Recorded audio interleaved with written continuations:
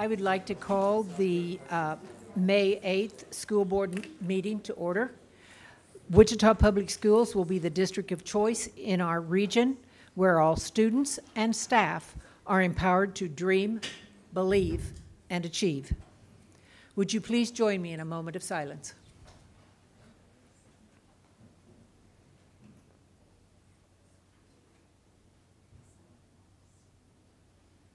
Thank you. Our colors are presented tonight by the Curtis Middle School JRTC cadets. It's Command Sergeant Major Liliana Rowe, First Sergeant Angela Palacio, Corporal Phoebe LeMay, and Sergeant Shauna Leal. Sergeant She- Leal uh, was just selected by the Leadership Honors- Honorary Cadet Board as the honorary cadet for our middle schools. So congratulations to you on that.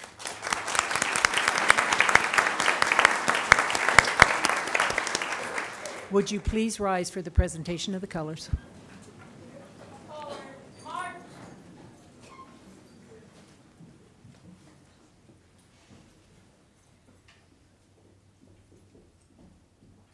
Platoon, halt, left, face, present, arms.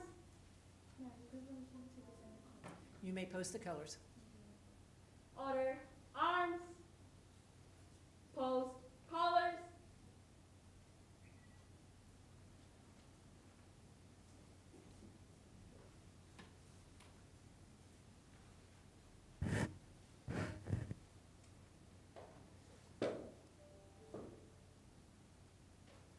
Please join me on the Pledge of Allegiance.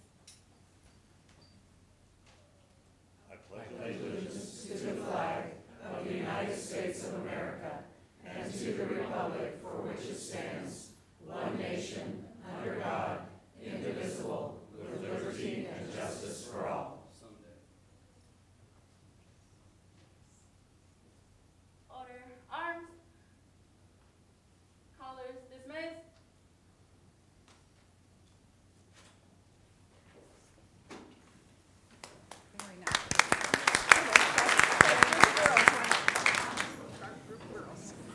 Thank you very much to the Curtis Leadership Team for the colors.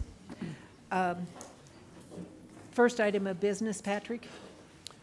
First item of business, public hearing on republication of the general fund and the at-risk funds in the 2022-23 budget. Okay, We do have an open mic for anybody who would like to speak on the pub- public hearing for the uh, change in the budget. I'm seeing no one. Diane, do you have a motion? I move to close the public hearing on the republication of the general fund and the at-risk funds in the 2022-2023 budget. Second. The motion was made by Diane and seconded by Stan. Please cast your vote. Well, we have to wait a second.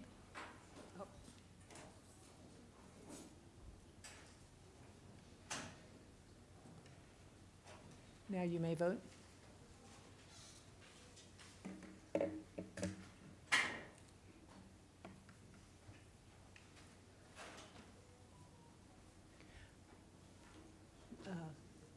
Hazel's not here. I know. Yep. Um, Motion passes six zero. The hearing is closed. Next item.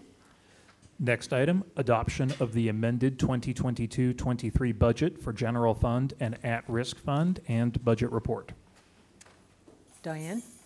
I move to adopt the amended 2022-2023 budget for the general fund and at-risk funds and the related budget report. I second.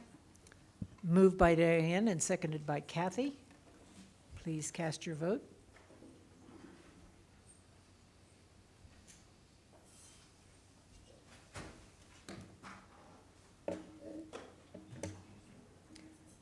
Motion passes 6-0. Next item. Next item, under reports, Superintendent's Student Advisory Council.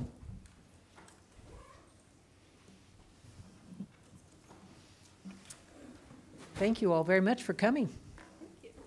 It's always a pleasure to get to see you and hear what you're doing.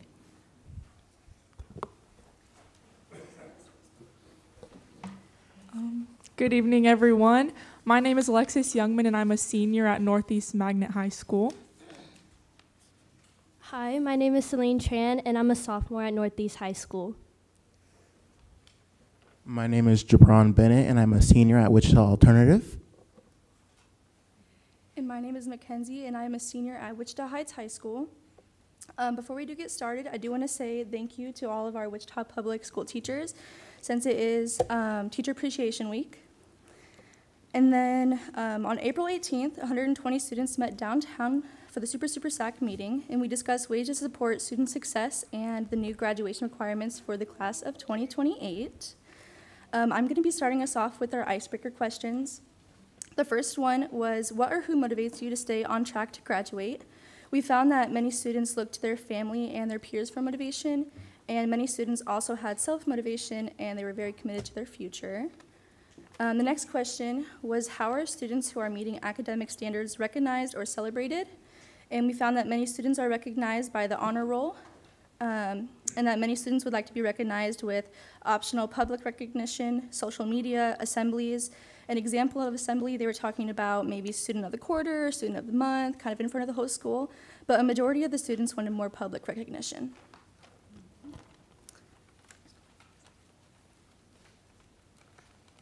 Okay, and for our next, our, our next icebreaker question is What are the reasons and causes a student can get off track? So, one of them is mental and physical um, health. Um, a lot of students were especially affected by the COVID 19 pandemic that happened in 2020. And um, not having enough support system from friends, family, and teachers of some, of some sort. And certain groups of people that um, students tend to hang out with, so more of like a bad influence. And some students are overwhelmed because of work, school, and etc. And lastly, some students are affected personally from their personal life and their pers- personal home.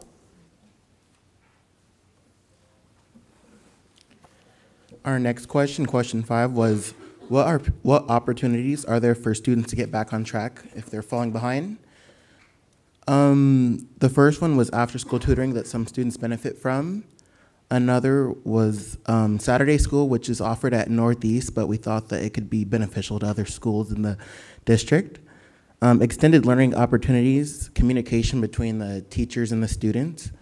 Um, teachers accepting late work and not just giving it a zero. And other things like Edgenuity, which is an online resource for students to use to like credit recovery. And then, kind of the main question that we were there to answer was in regards to the fact that the Kansas State Department is changing graduation requirements for the class of 2028. So, we were given a list of post secondary assets, which the class of 2028 and beyond would have to pick two of those assets to be able to graduate. So, we were asked what assets we would recommend be added, taken away, or taken away, um, or kept on the list. And so the kind of the overall consensus that we all had was that we think the more things that are on the list, the better, because one thing might work for one person but not work for someone else, and vice versa. So the more things that are on the list, the easier it'll be for more people to succeed. That being said, there were some that stuck out to us that we liked, and then some that we didn't like so much. So the ones that we did like were a GPA. So like 3.5 or above, we thought was a good way to measure college readiness or would be a good asset. Um, also, extracurricular, so like you have to be in a club for a couple of years or have a certain amount of hours committed to a club or an extracurricular sports or something like that. Um, also, we thought life skills classes would be a good one, industry level certification, um, culinary careers, but add like a marketing or business element to it. Like I know some schools are doing coffee shops, so we really liked that and thought that would be a good one. Um, also, foreign language, because a lot of colleges do already require a foreign you, that you take a foreign language. Maybe three to four years of foreign language could get you a requirement, or if you get the seal of biliteracy. Um, also, community service hours we thought would be great. Internships, especially for those people who want to go into the workforce rather than college. Um, and then the, there were a few that we didn't love so much. One of them was teacher assistant, because I know a lot of kids at my school who are teacher assistant kind of just sit in the back of their class on their phones the whole time. So we didn't think that would be a great one. And then we didn't love the 90% attendance. And then We also didn't love the ACT just because someone might not really do a whole lot in school and then score well on the ACT. So we thought that GPA was a better way to kind of balance how you're going to do in college. So yeah, those were our feedback on that question. And I think that's all that we have for this. So do you guys have any questions for us? I see no questions, but I really appreciate the report that you gave to us so that we can read it. Yeah. And what yeoman's work you've done. Thank you so Oh, very, yes, of very much. course. We You're really welcome. appreciate hearing from y'all. yeah, I, we all appreciate the opportunity to be here. So, and then there was one more thing. I, as all of you probably know, this is Dr. Alicia Thompson's last board meeting. So, on behalf of Super SAC, I just wanted to say thank you so much for all you do.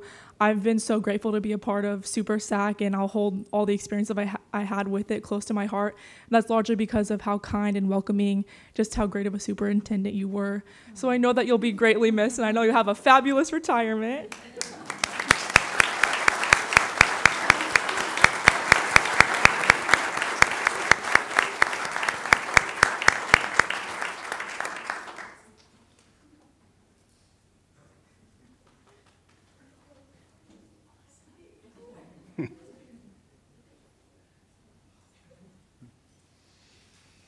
Thank you, guys.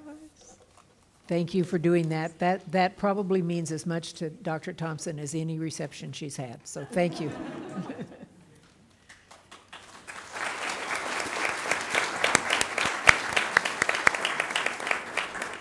Next item. Next item under reports, good news.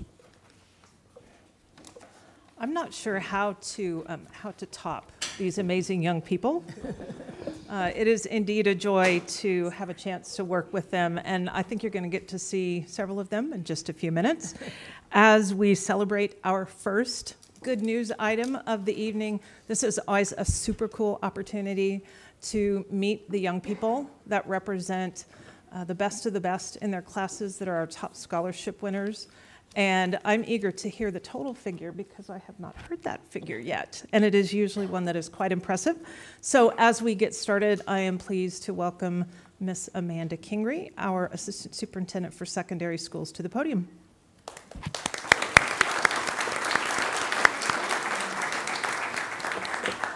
All right. Um, Good evening, President Logan, um, Vice President Albert, uh, Dr. Thompson, and the board members. It is uh, really hard to come up here and speak after those kids. They did an amazing job. I just sat there. I was like, wow. Uh, they're so articulate. Um, great job for them. So today we're going to celebrate some of our seniors, just like um, Wendy said. These students are all our top scholarship recipients at all of our high schools. And so um, we're going to recognize the top 10 as well as anybody that um, received $40,000 or more. But I would love for these, are they going to come in or are we just, I, I don't, are we going to be able to see them? Because I would love to see them. All right. Um, so we're just going to start with each and every school. But before we do that, um, I really want to recognize everyone who helped support these students to get where they are today.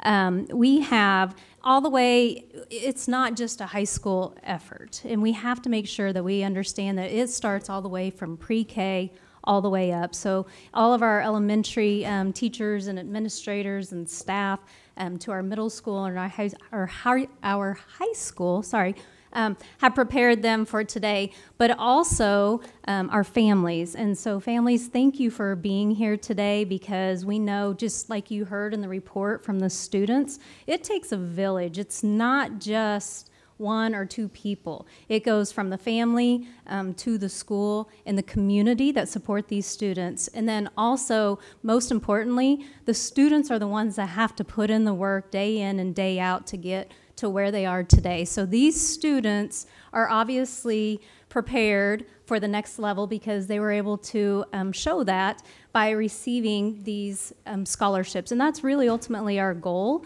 for um, Wichita Public Schools is for us to prepare students for the next level and for that to be either college or career readiness and life readiness. And so these students have absolutely exhibited that. Um, lastly, I really want to recognize our college and career um, Center, our, our counselors as well, because without them, they are the ones that are sharing all of the scholarships with our students. They are giving them and exposing them to those opportunities and letting them know what's out there.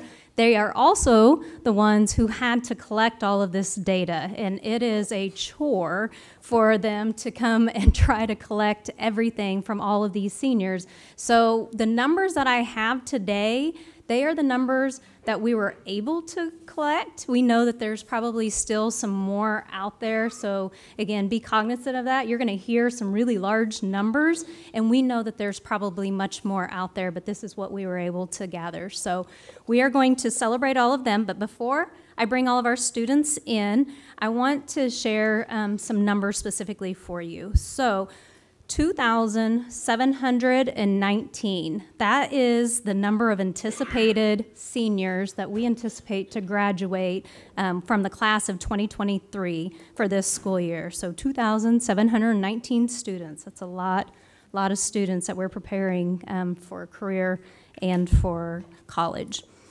The next number I want to talk about are the number of students that we know for a fact are receiving scholarship offers, and that is 826 students that have already been offered scholarships um, through our colleges. And then, last but not least, the most important number, the number that you guys are waiting to hear, like Wendy said, um, the total that we have been able to collect from students to know that's going to be um, offered we are at fifty-five million six hundred and nine thousand five hundred and ninety-five dollars. So we are. That's a large amount.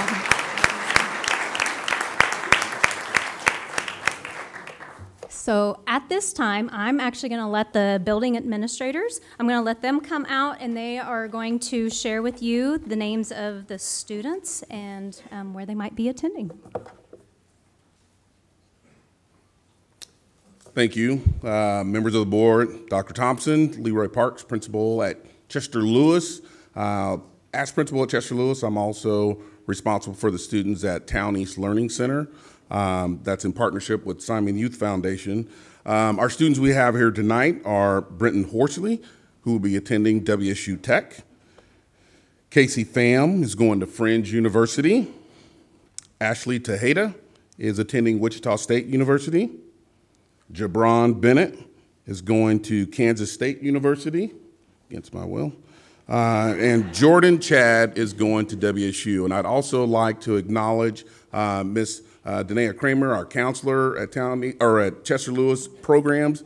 She works with the students at Town East and the adults, and also our college and career coordinator, Mrs. Amy Alvarez. So, thank you.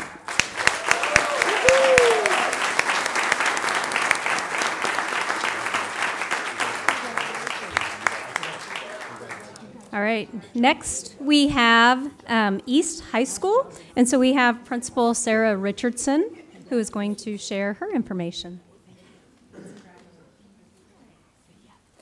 All right, thank you, board members and Dr. Thompson and Ms. Kingery. Uh, my name is Sarah Richardson, principal of Wichita High School East. Mr. Parks is like, like, a, like the biggest fan. Uh, yeah. Um, late. Yeah, just stay close to me, my friends. Stay close to me. Uh, so we are graduating the 145th graduating class of the original Wichita High School, Wichita High School East this year, and that's pretty exciting. Class of 2023, and these are uh, six of our top 10 scholars. As a total, the 145th graduating class has a total of $21,742 and some change. Uh, reading math is not my strong suit, so we're very proud of this class. 21 million. So uh, I'll just go through. Uh, our top scholar winner is Miss Kara Kinsley, and she's going to uh, St. Louis University next year.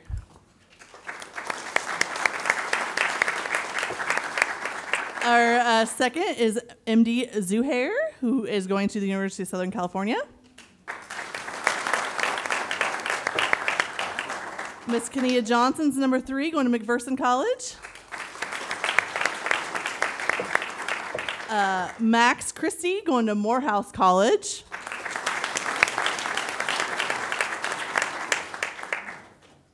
Elizabeth McWaby going to the University of Kansas. And Augustine Al going to the University of Tulsa. So we're very proud of them. And I do want to introduce our college and career coordinator who works with all of our seniors, just not these six, uh, Kennedy. And we're very just proud of everybody that has worked so hard to get these kids where they're going. And don't forget where you come from. We'll miss you.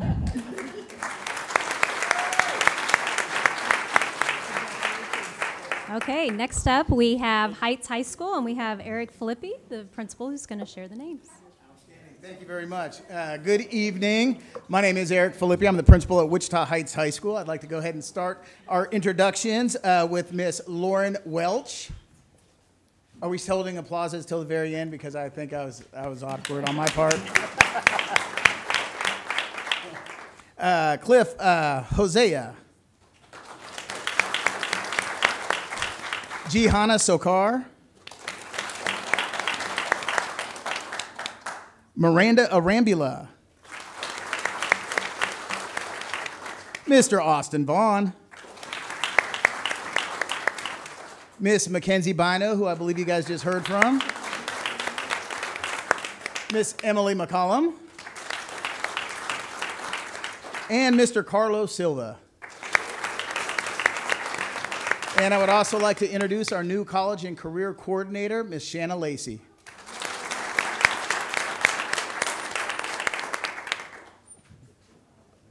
Right, next up, we have North High School, and we have Stephanie Wasco here to share her students. I'm very proud to introduce the following North High Scholarship recipients. Our first recipient is Kylie LaValle, and Kylie is attending Wichita State University. Maylee Hanson.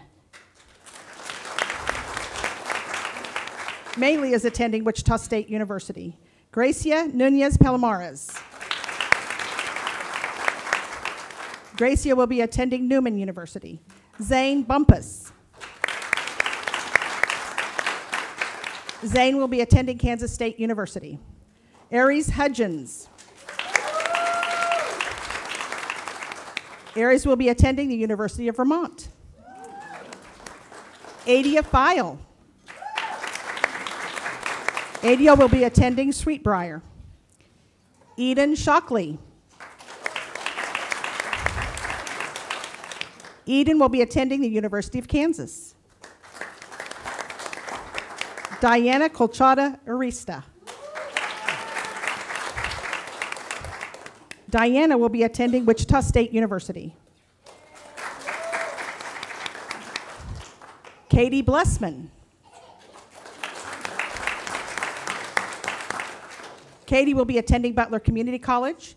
And our last recipient isn't here with us tonight, but would like to recognize her as well, Taryn St. Clair, and she'll be attending Tabor College.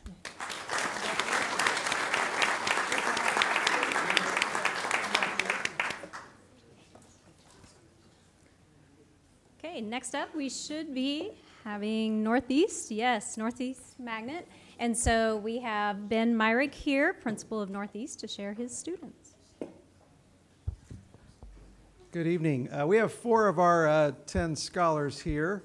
I'm going to read those 10 names and we'll recognize uh, particularly the four that are here. So, who you see in front of you from your right to left, Kalisha Lawrence Henry, uh, followed by Angelique Gray.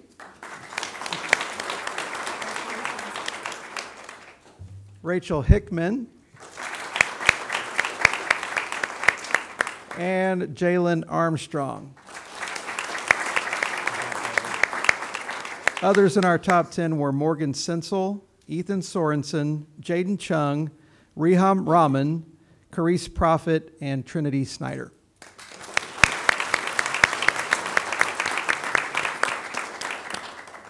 All right. He's a little bit taller than me. So uh, you're probably going to have to move this too. All right. Um, so next up, we have Northwest High School, and we have Eric Hofer Holdeman, the principal there at Northwest.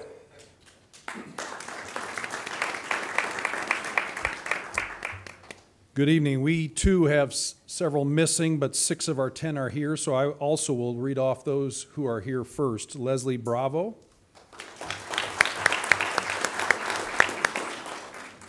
Jasmine Diaz.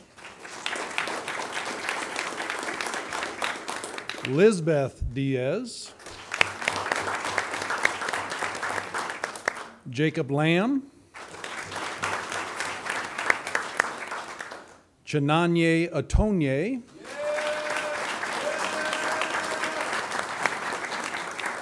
And Tyler Smalley.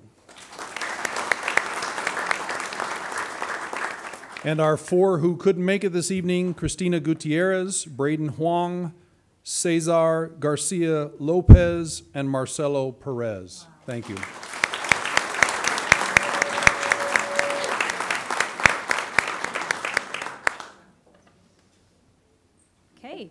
Um, next up, we have South High School, and then we have the principal, Travis Rogers.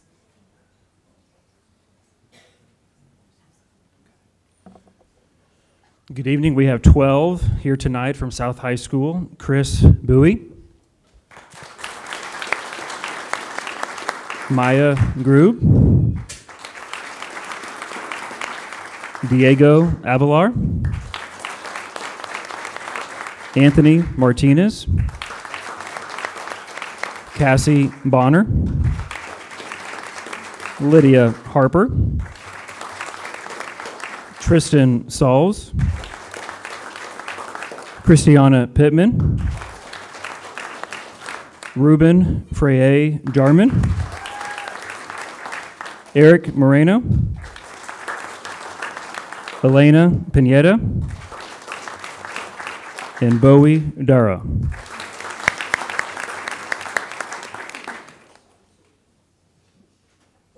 All right, I think we're to try. I know it's to get a little uncomfortable. We're to try to squeeze you down a little bit more so we can get some more students in here.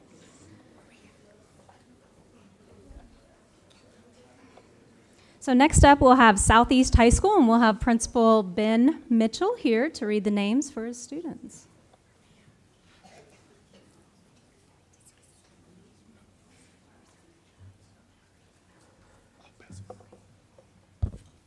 Well, good afternoon, everybody.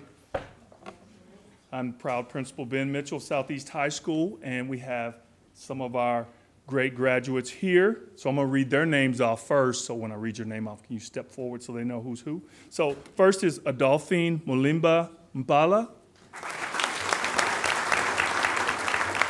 And can I just do a short brag? She came to the United States in 2019. That was her freshman year. She now speaks four languages because English was not one of her first languages.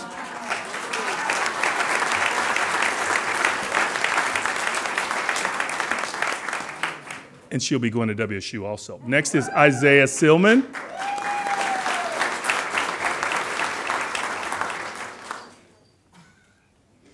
Next is Jada Hall. I call her vice president.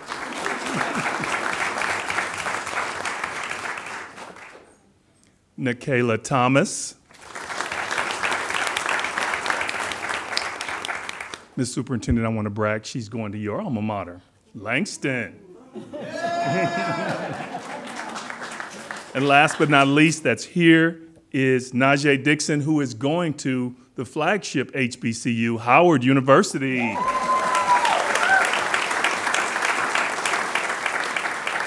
And I also want to read off uh, the students who are not here Sam, Samuel Ekanem, Diego Puga, and Aaron Baker. Those are our Southeast Golden Buffalo.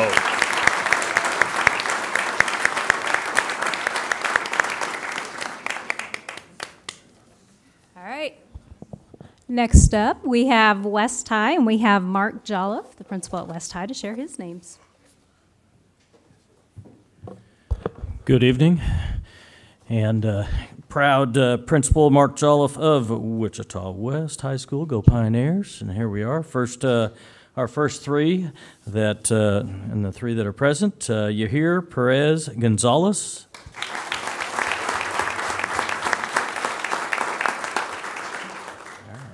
Katie Vialta.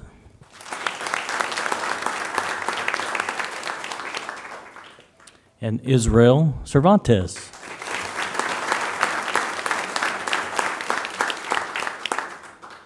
Also read our other uh, remaining names that weren't able to make it tonight, whether baseball or other events, but Caden Dotson, Ava Tate, Emily Corral, Alondra Cifuentes, Sa- Sahus Shura, Haley Trailer, and Anaval Ramos. So,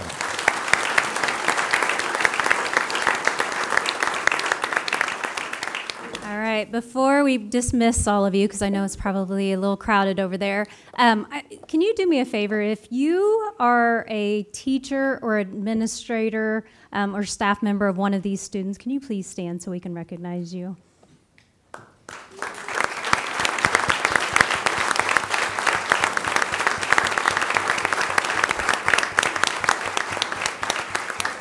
Thank you. And most importantly, if you are a family member in this of one of these students up here, can you please stand so we can also recognize you?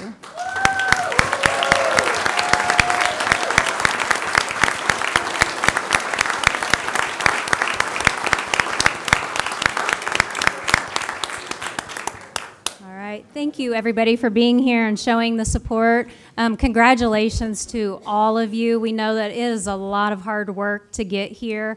Um, it just doesn't come easily. So we know that you put in the effort. Thank you, guys. Good luck on your future. I know that the um, staff are going to miss you guys greatly, but um, can we just give one more round of applause? Congratulations to all of them.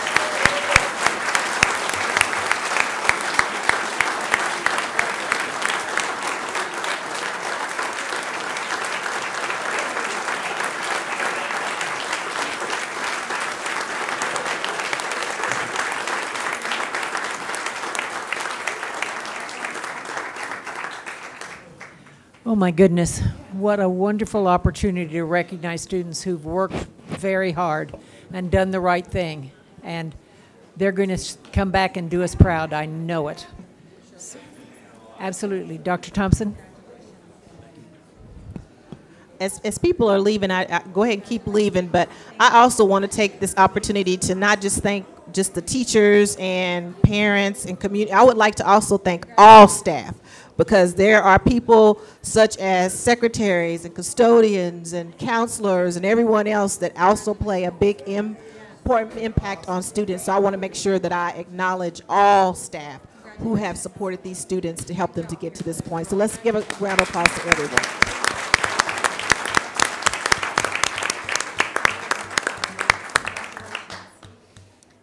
Okay, we'll give just a moment to clear the, the audience as they want to leave.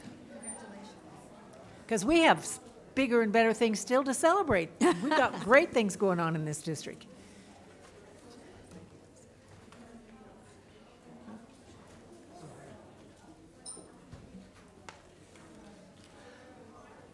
Okay. Next item, Patrick. Next item, 2022 Challenge Award recipients. If you don't mind, we'll pause for just Yep. another minute so they can close the doors. What a joy to have our students here. They've worked hard. They deserve to be recognized by everyone.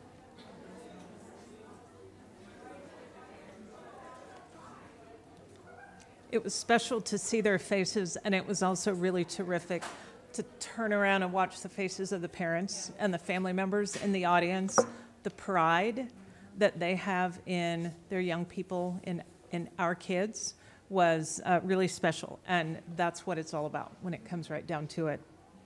So we celebrated excellence with our students and their achievements. Ms. Kingery mentioned the village, the elementary schools, and the middle schools that it takes to help our graduating seniors get to where they are. So, our second good news item tonight um, gives us the opportunity to welcome two familiar faces back to the podium Ms. Betty Arnold and Mr. Jim McNiece, who represent Wichita Schools on the Kansas State Board of Education and who have made several appearances in our district to celebrate our Challenge Award winning schools for the year. So I saw several of you in the audience. If you are a Challenge Award principal, there you are. Why don't you all go ahead, please, and come forward? So as Mr. Ar- Miss Arnold and Mr. McNiece have the opportunity to celebrate you, you can receive the congratulations of our board. As they're coming down, I just want to echo the thanks to Betty Arnold and Jim McNiece for coming tonight because it, it, we appreciate what the state board does and how they help us, and it's really nice to see you in our district and at our presentation. So thank you very much for being here.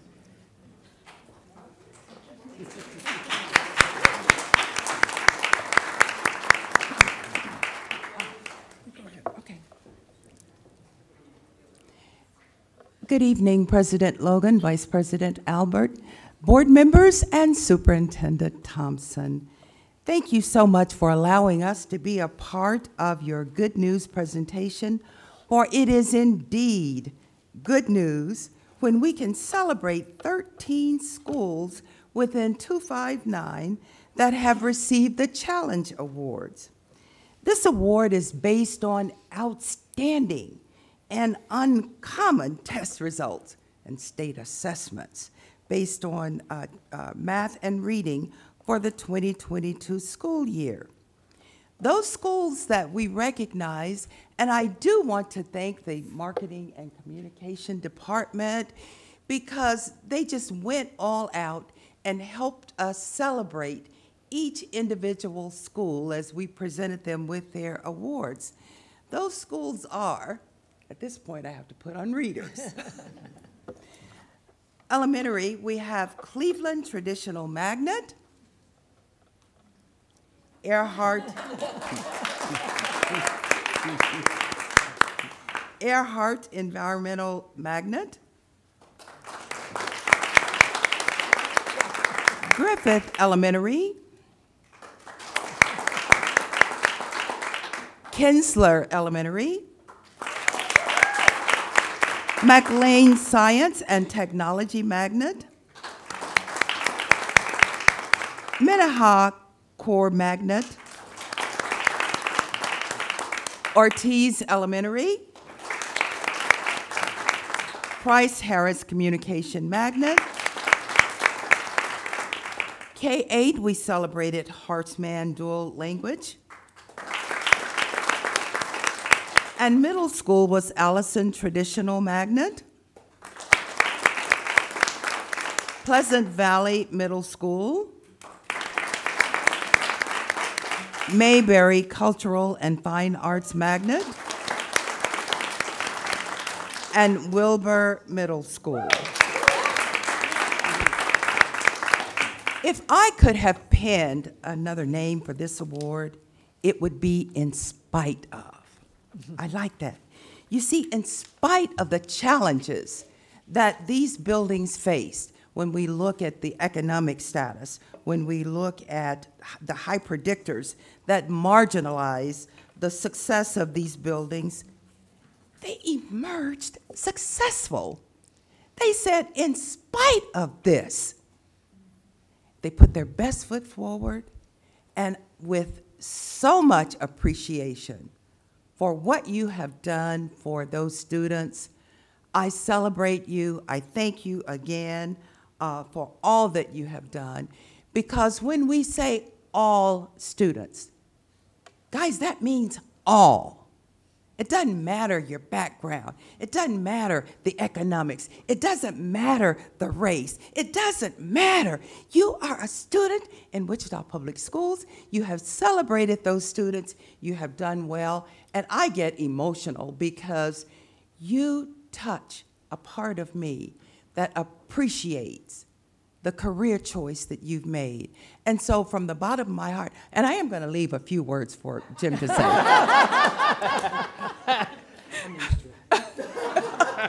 but from the bottom of my heart, thank you so much. And thank you, board members, for allowing us to publicly celebrate these great buildings in 259. I always feel like there's so much great stuff going on but very little attention. And if I had a pom pom for each one of these buildings, I still would be cheering. So, guys, thank you so much for all you've done. And I'm going to allow Mr. McNiece to at least have a word. Think of something, Jim. Did you write Uh, Congratulations to uh, these principals for the schools they represent, and they do represent them. The uh, success of a school starts with a principal, keeps going with the faculty, it's the buy-in of the students, it's the buy-in of the parents, and it's the support that you as a board give them. You know, it's a, it's a collaborative effort, it's a team effort.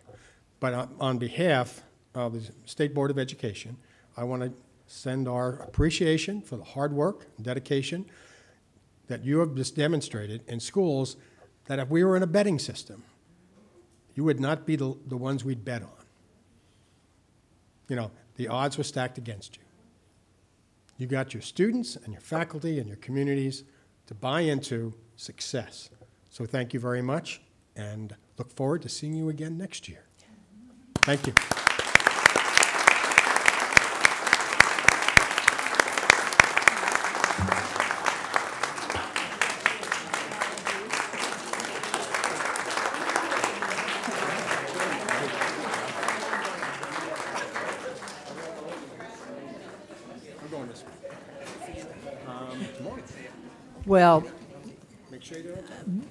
Understand as a board, this is a big deal for schools to win this award. So we are so, so excited to have all these principals. And 14 schools, that's a lot of schools. Wichita's doing a whole lot of things right out in our buildings. So thank you, principals, for being here. It seems only fitting that our third good news item tonight falls during Teacher Appreciation Week and falls just after one of our Challenge Awards schools happens to claim our honoree as one of their very own. So I'm going to invite Mr. Tim Elson forward, and I told him that I would try not to embarrass him and say a few words about how amazing he is and why he's standing before you today to be recognized. So, for 35 years, the DeVore Family Foundation, a private family foundation in our community, has had enough uh, gratitude and respect for public servants that they have selected an honoree from the Wichita Public Schools, from the City of Wichita, and from Sedgwick County to be honored as Excellence in Public Service Award recipients. And I can't help but smile as I look across the table at Ms. Hedrick because she was one of those award honorees when she worked for our school district. Not only did, has the DeVore Family Foundation celebrated and honored and held in high esteem these individuals, but they also put their families' um, good fortune behind the awards in the form of a check that the honorees receive that they can use to apply to whatever goodness in the community that, that they support. So for 35 years, we've been ganging up on award recipients because it's a surprise when, when we come out and let them know that they've been selected. And this year was no exception, right? so Tim thought he was going to the zoo for Earth Day and took some of his Science Olympiad students there. Uh, Tim is an eighth grade science teacher at Wilbur Middle School and is well known for quality science Olympiad teams. And I think you all had just qualified or received science Olympiad recognition at the state level. Second place in the state. Second place in the state. So he was having a great day and celebrating with the kiddos right near the petting zoo. And Mr. Lynn, his principal, was having an important one on one conversation with him over to the side by the barn. While we were all pouring out and waiting to conspire, when he walked over towards us. And I think by the time he saw his parents in the crowd, that's usually the moment when they realize they've been had. I was watching your face. He saw his family. He knew something was up. And we were all able to congratulate him for being selected as the 2023 Excellence in Public Service Award recipient from the Wichita Public Schools.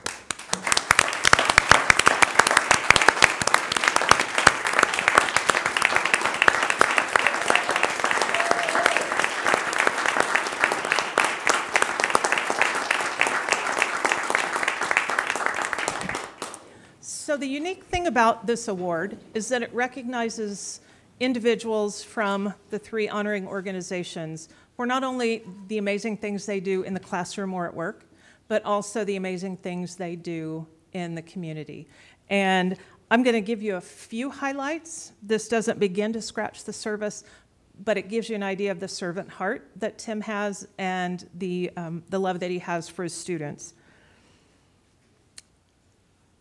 He's actively involved in Science Olympiad, actively involved in Kansas Association of Teachers of Science, instrumental in creating regional conferences for teachers for no cost, benefiting his peers, facilitator of Regional Science Olympiad competition. You heard about the statewide success of his team.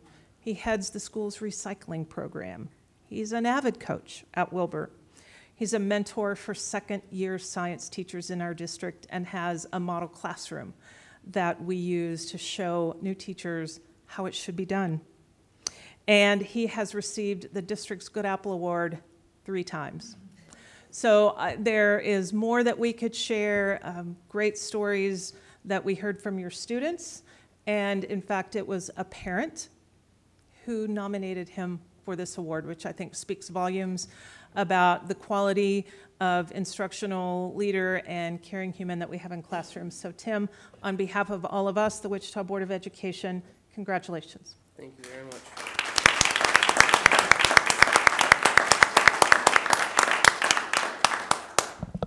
Thank you very much. Um, I just want to say a couple quick things. Um, first off, um, because Betty Arnold had pointed out, in spite of uh, Wilbur Middle School, um, in spite of, of our demographics and, and who we are, we um, fought really hard. We took second place at our state uh, tournament. And um, I wanted to give a quick plug about the national tournament because it's going to be taking place this year in uh, Wichita State. University uh, Friday, May 19th, and Saturday, the 20th. So if you want to see national STEM competitors, it's open to the public if you want to stop by and see that. Uh, they take the top 120 schools from the entire nation, including a little bit from Canada and Japan. Um, and out of those 120 schools, I wanted to point out that uh, in spite of where we are, Wilbur was ranked 121st. So we missed it by this much. But I did want to uh, also, real quick, uh, thank all the people that uh, support me in all the things that I do because I do not do this by myself. I am not a self made man, and I, I cannot do what I do without the support of everybody, including my uh, lovely fiance and daughter who are in the room right now. If you guys want to stand up and wave. Uh, and, and the whole village that was mentioned earlier, uh, including Mr. Lynn. Mr. Lynn, could you please stand up for me? He has been one of my biggest cheerleaders. Uh, my, my superintendent, could we please give a round of applause for her last? Thank you, Ms. Thompson, for everything. Dr. Thompson. Um, and, and everybody else on the board, and my custodian that takes out my trash, and just everybody. Like, I couldn't do it without all of you guys, so thank you.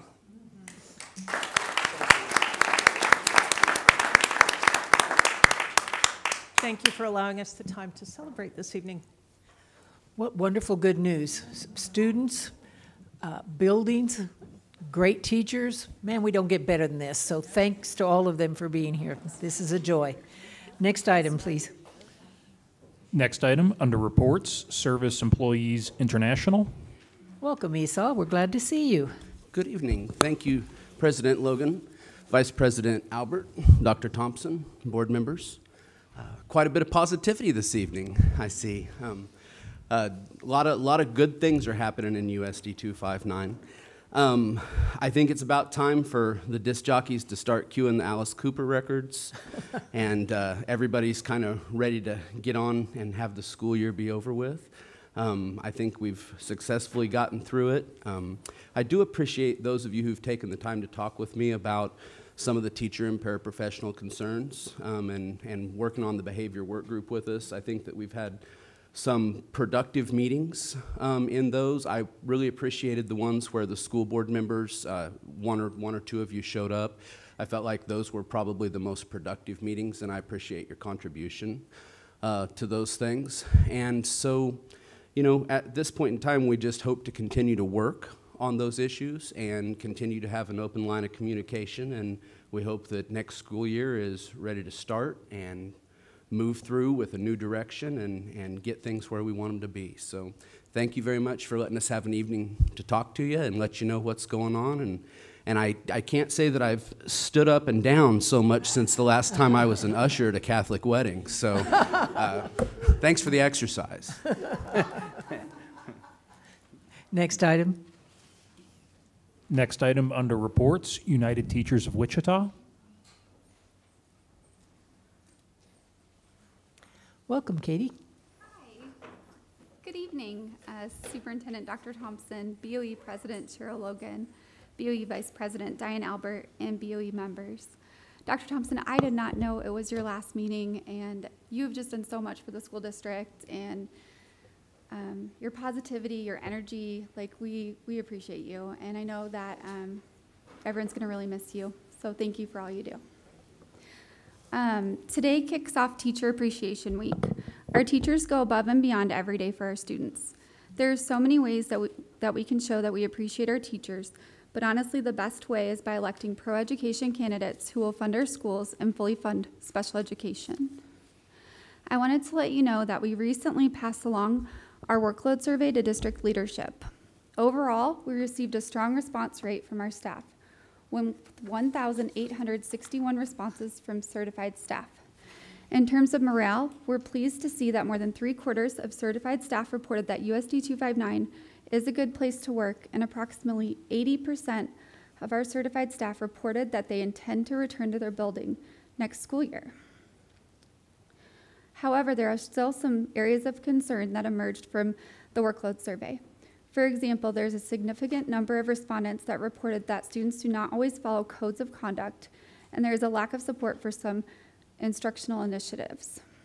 As for student conduct, we implemented a behavior work group this year, and I'm so thankful that many of you attended the meetings. I felt that they were very productive when you were there, and we appreciate you.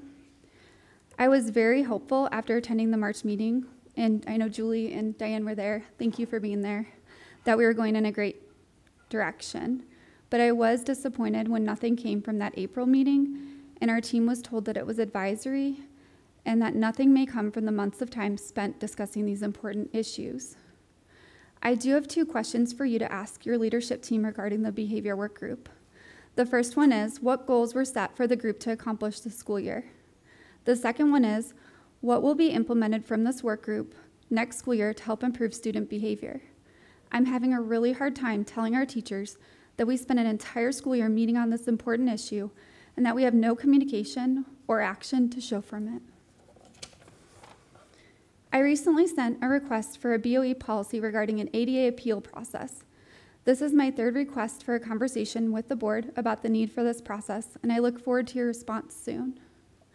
Thank you guys for everything you do for our teachers, and I know that um, I just appreciate you always answer our teachers' emails and calls anytime we have questions. I'm Sheril. You've an answered my call, I think, at 9:30 at night. So thank you for always being available. Um, we know this is a volunteer position, and um, our teachers appreciate you. So thank you. Thank you. Next item. Next item, public communications. Uh, we do have three speakers tonight. Uh, speakers are allowed three minutes, and you may not talk about specific buildings, teachers, or students uh, in your presentations. Our first uh, person to speak to it is Jesse Broski. And I apologize if, if I mispronounced your last name.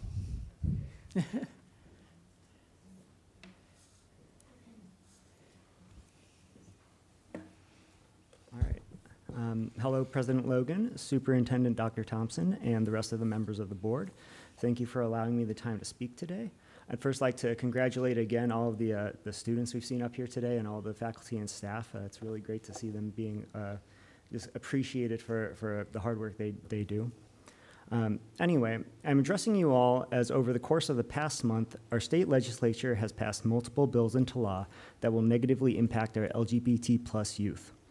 As many of you may know, House Bill 2238, or the Fairness in Women's Sports Act, disallows trans individuals from participating on sports teams associated with the gender they identify as. Senate Bill 180, also known as the Women's Bill of Rights, disallows trans individuals from using the restrooms and locker rooms of the gender they identify as. Engaging in gender consistent sports and being included in gender consistent facilities are part of what we call social transitioning, which is an integral part of the trans experience. I believe that these new laws will have deleterious effects on the mental well being of our transgender youth. Turban et al. 2021 found that children who can comfortably socially transition are less likely to abuse cannabis. The study also found that adoles- adolescents who socially transition are likely to experience adverse mental health outcomes, including attempting suicide, unless they are protected from harassment during their transition. Olson et al. 2016 found that trans children who are supported in their gender identities experience mental health difficulties at the same rates as cisgender students, whereas uh, trans children who are not supported experience higher levels of distress. These stu- studies are some of many that highlight the importance of social transitioning from our, for our students' mental well being. I can also go on about the impacts this can also have on their physical health and hormonal transitioning of our trans students, but I can't do this topic justice in only three minutes. Regardless, it can be said that these new laws have, may have unexpected consequences for our students' mental and physical health. Fortunately, it is possible for the officials, administration, and faculty of USD 259 to help ameliorate the effects of these laws.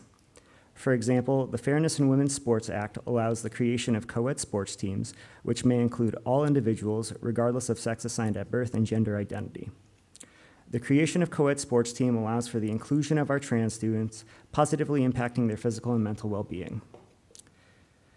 It additionally demonstrates to our students who are assigned female at birth that they are not inherently less capable or less athletic than students who were assigned male at birth.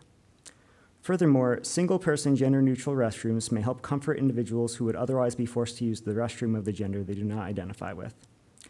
These are just some of the several op- options the board can take to help support our trans youth.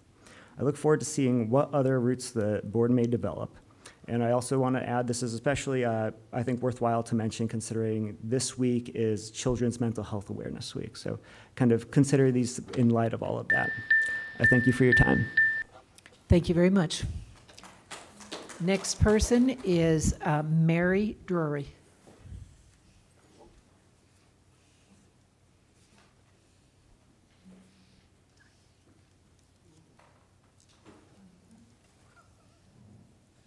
Welcome, Mary.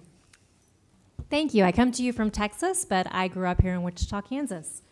Good evening. Thank you for the opportunity to present to your school board tonight. My name is Mary Drury, and I am a chapter leader with Foreign Links Around the Globe, better known as FLAG. FLAG is a U.S. Department of State designated sponsor for J1 visa exchange programs. Or, to put it more simply, we match busy, everyday American, host, American families with an international high school student to host for a school year. Our students come from South America, Asia, Europe, and even Africa to experience what is likely to be what it, what it is like to be a typical American teenager. This year will be our 30th year to participate in the J1 visa exchange program. We have been assigned visas to match approximately 500 students with a volunteer host family for this next school year. Flag is in the Wichita area, the Wichita School District this week to promote our programs to your elementary school families. I will personally deliver 20,000 flyers to your elementary school families uh, teachers, school administrators, area churches, and local community. By the end of the week, we will have sent home approved flyers with each of your elementary school students, tabled at at least three athletic events, and have met with several high school and other administrators within the district. We hope this is just the beginning to a stronger and growing presence within your district. As of today, there are still approximately 100 spots remaining in USD 259 for international exchange students this year. I've told that you've never met, you've never met, uh, reached your maximum before. We appreciate your district's willingness to make so many spots for international exchange students and to work with us as we support our grassroots international diplomacy efforts we have promised to carry out on behalf of the U.S. Department of State. You see, very rarely will the everyday American family be able to make such a difference on a global scale. However, by opening their homes for a school year, they are building a bridge that supports international friendships, views, and kindness around the world. They are fostering a positive view of Americans abroad. Included in the handouts I brought this evening is additional information about FLAG and our programs, and information on the two community outreach events we are hosting while we are here in this area this week. I will also be around until the end of the school board meeting. and If any of your high school principals or other school administrators has questions about FLAG or how our FLAG or how FLAG supports our students. Thank you for being a partner to FLAG and to all exchange programs, um, organizations in this effort. Together, we're building friendships around the world. We're making a difference on a global scale. Thank you. Thank you. Kareem Williams, Karima Williams.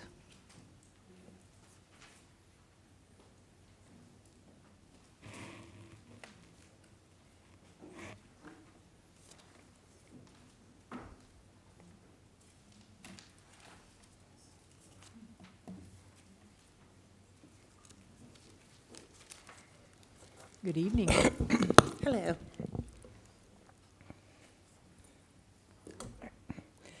When you open Webster's dictionary and look up the word leadership, the definition reads as follows the action of leading a group of people or an organization, integrity, communication, influence, empathy, courage, and respect. These and so many more are a few qualities that describe Dr. Alicia Thompson. For the last 25 years, six as the USD 259 superintendent, you have served us with dignity, grace, and poise. And today, we simply say thank you. My name is Karima Williams, and I am the career specialist here at Wichita North High School. I'm also a Wichita native and a proud USD 259 product. I attended L'Ouverture Elementary Robinson, and Southeast High School. I've had the opportunity to leave Wichita and to return and could not be filled with more admiration and pride as I see you as our superintendent. I would like to take a few moments to express our appreciation and gratitude on behalf of JAG, Kansas, and our students. Never one to take the easy or most traveled road, Dr. Thompson, you have courageously led us through both good and turbulent times. You masterfully led us as we went from face to face interaction education to Zoom and team classroom settings. You have been battle tested, questioned, doubted, and even shown disdain, and yet you've always remained stoic, encouraged, compassionate, and decisive throughout your serve. You've You've always remained accessible, approachable, and willing to listen to anyone within our district. Whether a popular decision or not, you have always kept the students as your number one main priority, helping to ensure higher graduation rates, provide additional VOTEC and, and trade school training, and bringing back culture and pride within our walls. Sorry. You gave um, little brown girls a face they could identify with. Philippians 4:13 says, "I can do all things through Christ who strengthens me." You serve that is proof through prayer, hard work, and staying the course. You can truly achieve anything and everything. I'd be remiss if I didn't mention that you did this all while being a wife, a mother, and a community, and serving the community of Wichita in your various board positions. Dr. Thompson, you are to be saluted. Saluted for your vision of our education system, saluted for your tenacity, saluted for your gift and your grind. I can only imagine the long hours, many meetings, and attention to detail to successfully navigate our district. Dr. Thompson, thank you. Thank you for, thank you for leaving your mark moving forward. Thank you for keeping the students your number one priority. And thank you for supporting JAGK and other leadership programs. You, Dr. Thompson, has served as our modern day Miss Nancy Garvey. We are so proud of you, we appreciate you, and we will miss you. Thank you for your service to the district.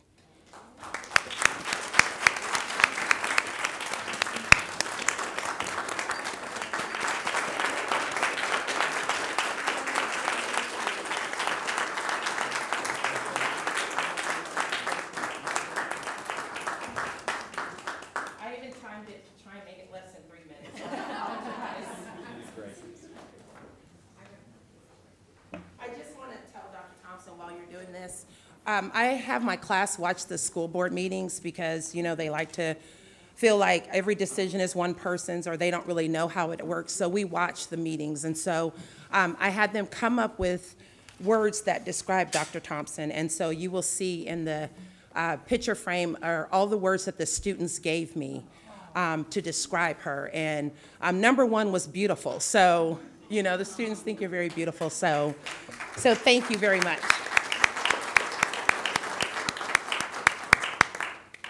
Thank you very much. We appreciate your coming.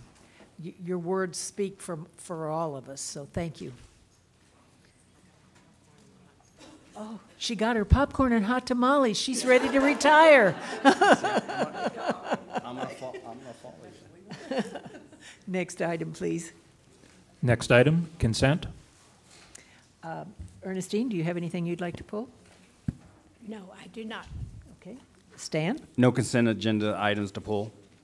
Um, I have nothing to pull. Diane? I do not have anything to pull. Julie? Nothing to pull. Kathy? I just have one, E11. E11. Okay. Could we have a motion to accept the rest of the items? I move that we um, accept the consent ag- agenda other than item E11. E11, right. Okay, is there a second? Is it E7 or E11? E11. E11. Okay, uh, I don't have a second. I'll second it. Okay, it was a motion made with, by uh, Julie and seconded by Kathy. Please uh, register your vote.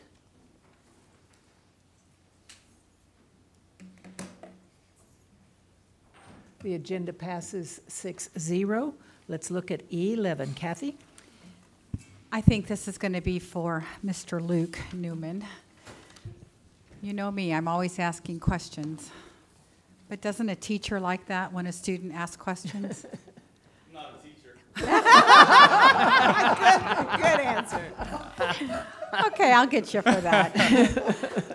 Okay, under kitchen remodels, um, it says various sites. I, I just want to know, what criteria is used to determine which buildings need kitchen remodels? Or is it on a rotation basis or a priority needs basis? Well, unfortunately, I don't see Fabian here. Oh. Um, we, we relied heavily on, on him and the nutrition services folks. My question was, um, what is the criteria to determine which building is going to be selected to get these kitchens remodeled? Is it a rotation basis or a priority needs basis? a combination of a little bit of all of that. Okay. Um, so typically, they have projects that they have, and they have um, how much they would potentially cost. So some years we may have a little bit of money, and then some years there's a little bit more money, and then you have to look to see, you know, where in the process, you know, how it's going to impact um, the, the um, enhancing what's going to happen in doing the lunch experience for Mhm. students. So, for instance, one year, um, everybody kind of got something. They we got we were able to kind of take each of our kitchen areas and remodel them totally. If you go in, if you were in before, they were remodeled. You see that it was you know the walls were kind of plain. It was just kind of paint in here. But then the students were able to design things and they were able to remodel um, physically the space to make it more appealing. So they were like, sometimes you go to secondary, you'll see them sitting in stools and they'll, they'll be sitting like at uh, restaurant table like things instead of the tables that we used to fold in and fold out. We, a lot of the schools, we don't have those in our schools anymore. So one year they did all, they, they uh, prioritized and each school was able to design and then they were able to get. This particular time, this year, the money is there and they looked at some of the needs that they had. So there are schools that may not have tray uh, ledges for them to put their trays on to pick their food up. So they, there's a variety of reasons why or how they make decisions. It's basically um, the need, uh, who's, who, it could be who's next in line, or it could be the cost, how much money is available for the projects, and can they afford, which ones they can afford to do. Um, so it's just a variety of ways. There's a few of the elementary schools in District 5 that um, are in dire need of more space for a kitchen because the students are eating in the gym.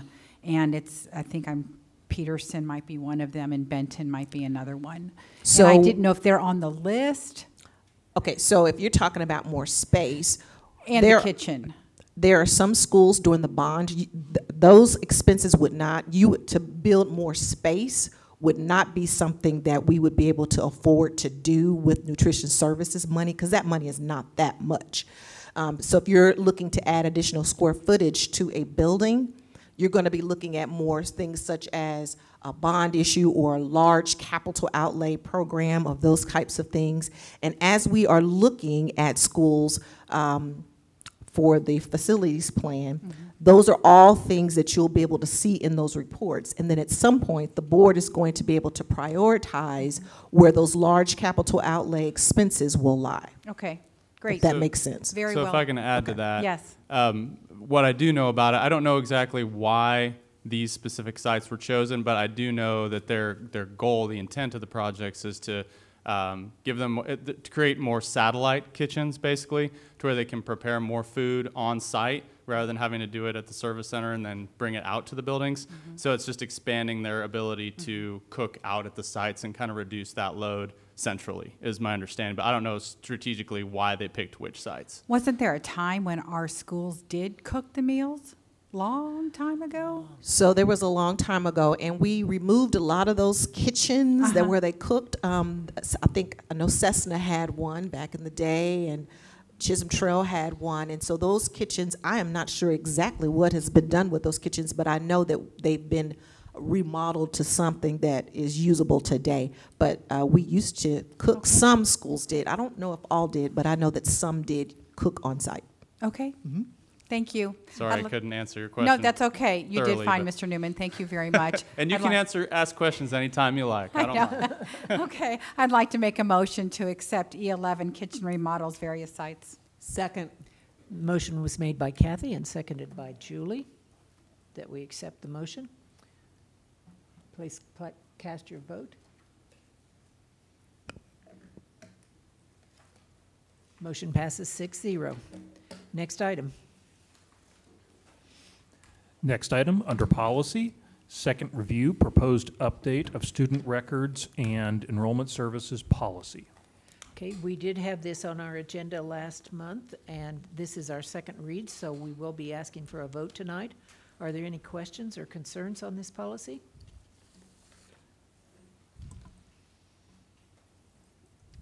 I am seeing none. Do I have a motion to accept? I'll, I'll move, I move to uh, adopt current policy 5505. Motion was made by Stan, seconded by Diane, that we accept Board Policy 5505 as is been presented to us. Please cast your vote.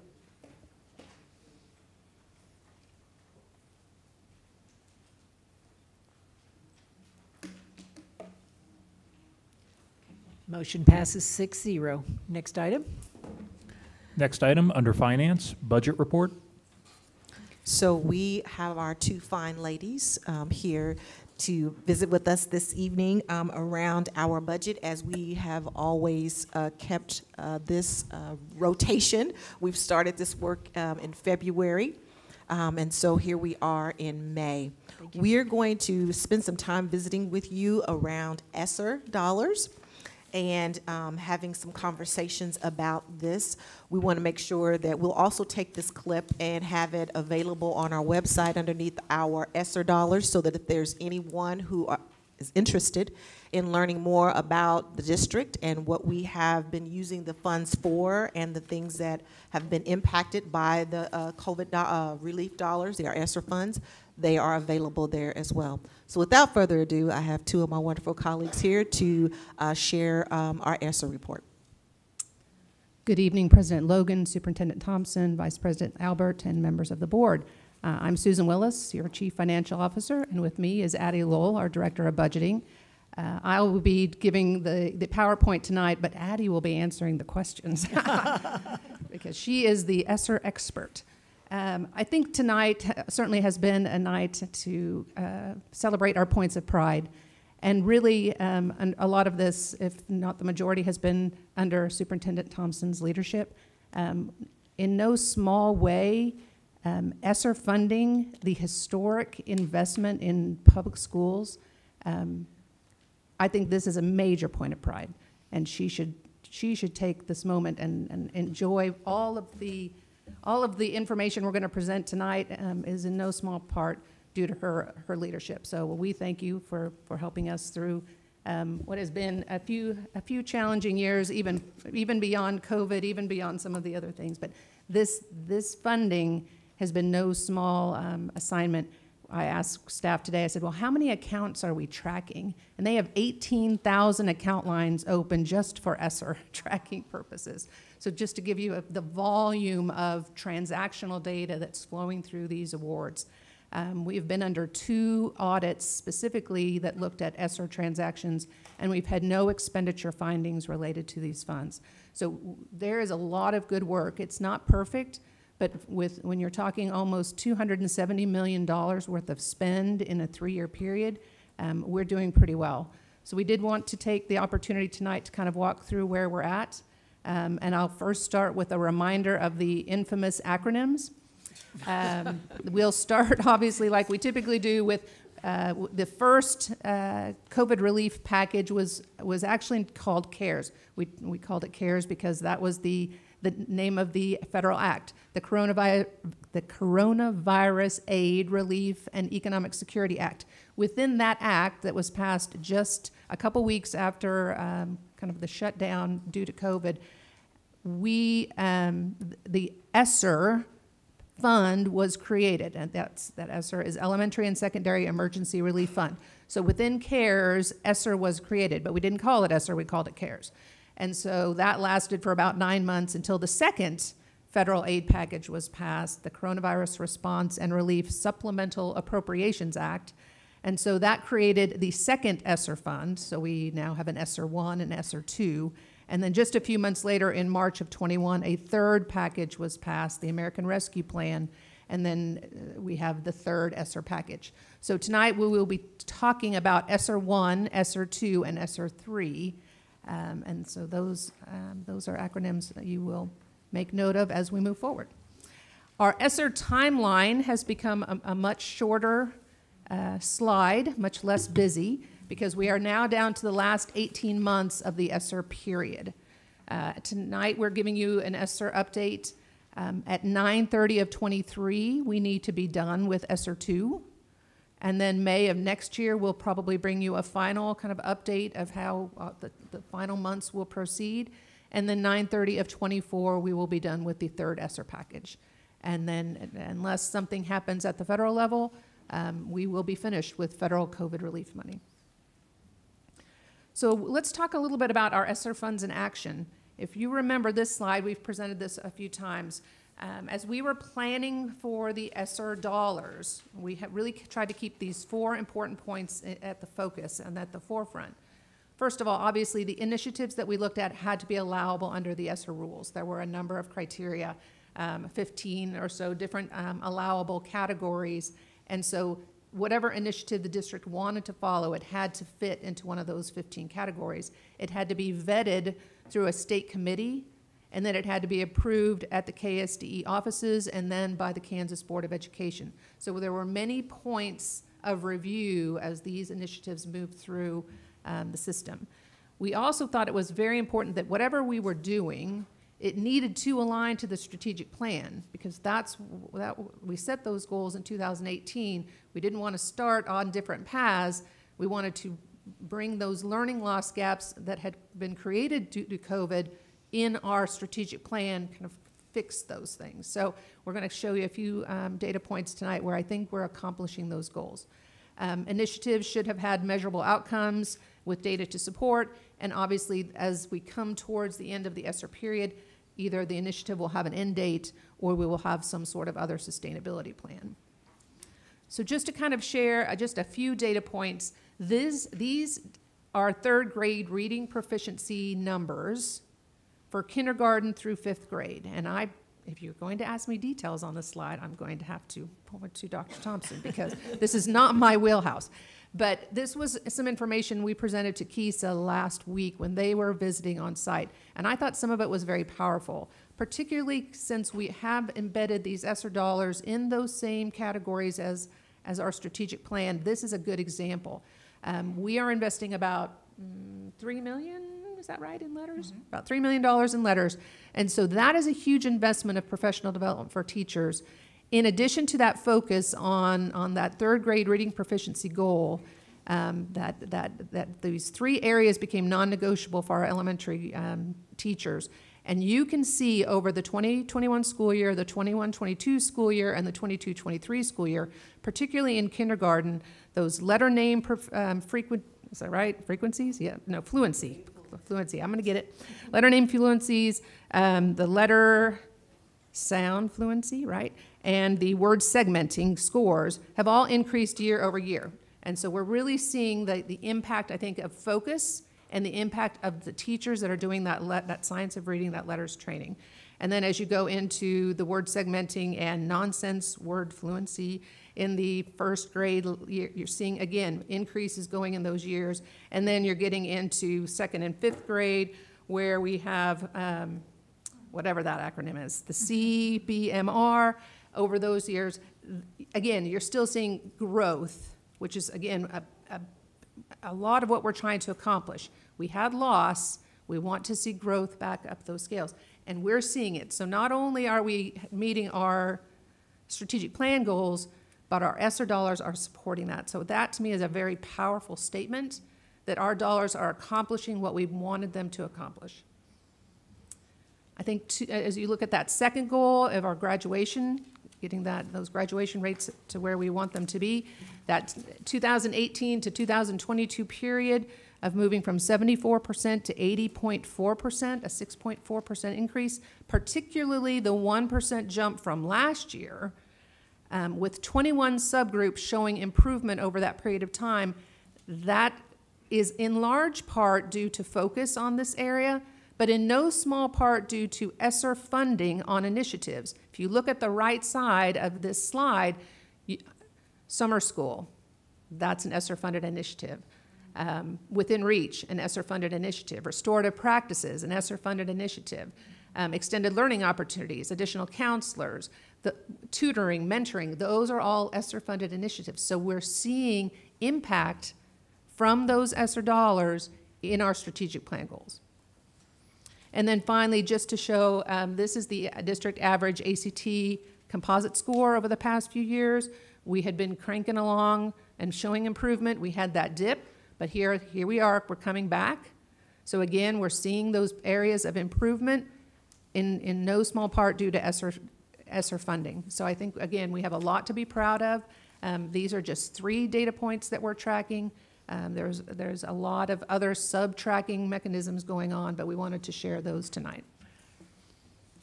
Okay, now we're going to get into a little bit of the weeds of the expenditures and kind of where we sit.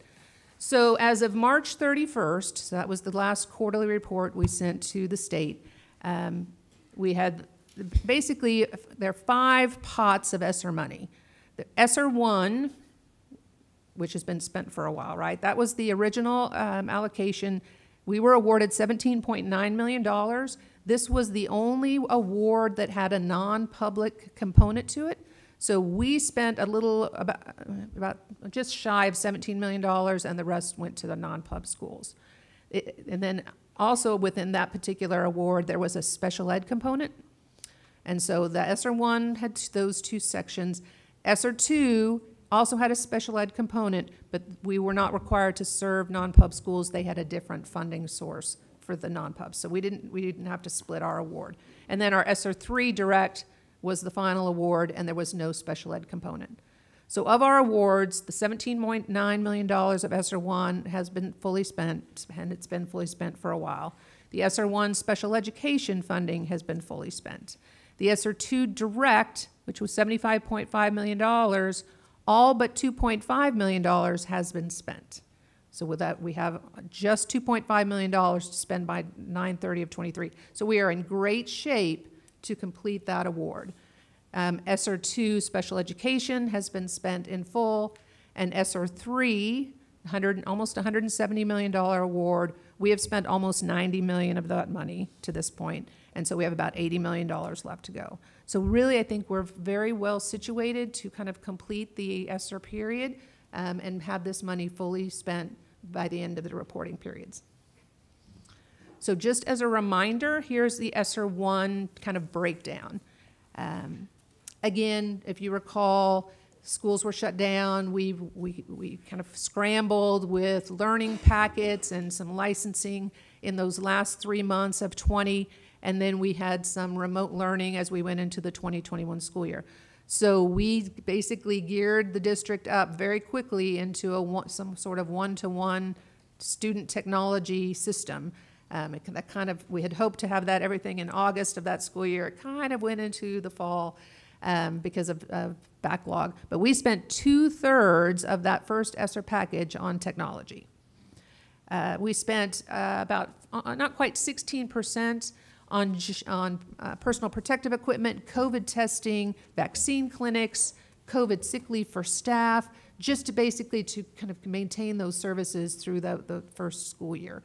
Um, we spent about 12% on, again, those learning plans, which included the online curriculum license that was extending Dreambox and Lexia and those type of things, getting more, um, more access so that students from home could access those, those intervention services. And then we spent about 3% on sanitizing supplies. 6% of the first ESSER package did go to the non-pub schools.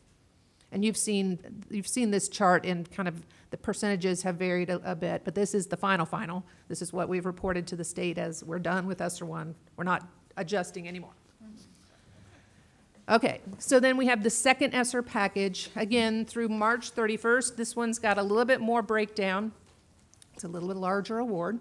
Um, again, a good chunk of it, 22% um, went to um, student and staff technology, primarily staff hardware and software um, as we moved into the second package.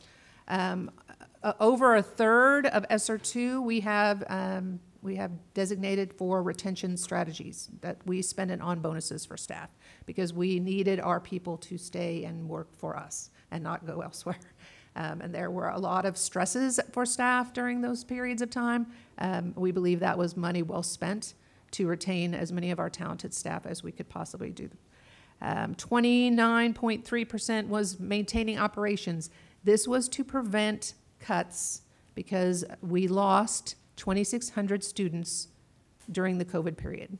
And the, the board was committed to not, um, not reducing staff. We were still feeling the effects of COVID. We were still having um, significant staff absences. It was not the time to be cutting staff in order to pay bills and give wage packages. So we, we did spend some of our ESSER just to maintain operations. And then um, 9% has been spent through the end of March on principal and school needs. So this was money specifically given um, in an allocation to each and every school for them to look at what was happening in their building and respond accordingly with mentors, tutoring, additional supervision support, whatever they needed they had a bucket to, to actually do the things in their building specific to their, uh, their, their stakeholders. Um, and then we had um, just a little bit that we charged um, the fund for indirect, which is basically people like us, HR, um, all of the support services that we all have time in ESSER funding, but we're not directly funded. So we can actually charge the fund a little bit. So we did. Um, and so that is kind of where ESSER 2 landed as of March 31st. As we approach the end of the school year, almost the entire $2.46 million left in ESSER 2 is part of the school needs budget. Because again, we, even though it's March and there's only three months left to the fiscal year, remember we have five months worth of salary coming our way. So, and a lot of what the schools are doing are paying people whether it's in the form of a secondary job or a supplemental or some additional staff. So that $2.46 million will be embedded in school needs. It will most likely be almost all paid out by June 30th. So that changes our chart just a little bit. You can see that school needs now are closer to 12%. That's where we're estimating that final breakdown of ESSER 2 will land. Okay, so in the ESSER 3 package, there were three additional requirements um, that were that we had to meet in order to to spend these dollars.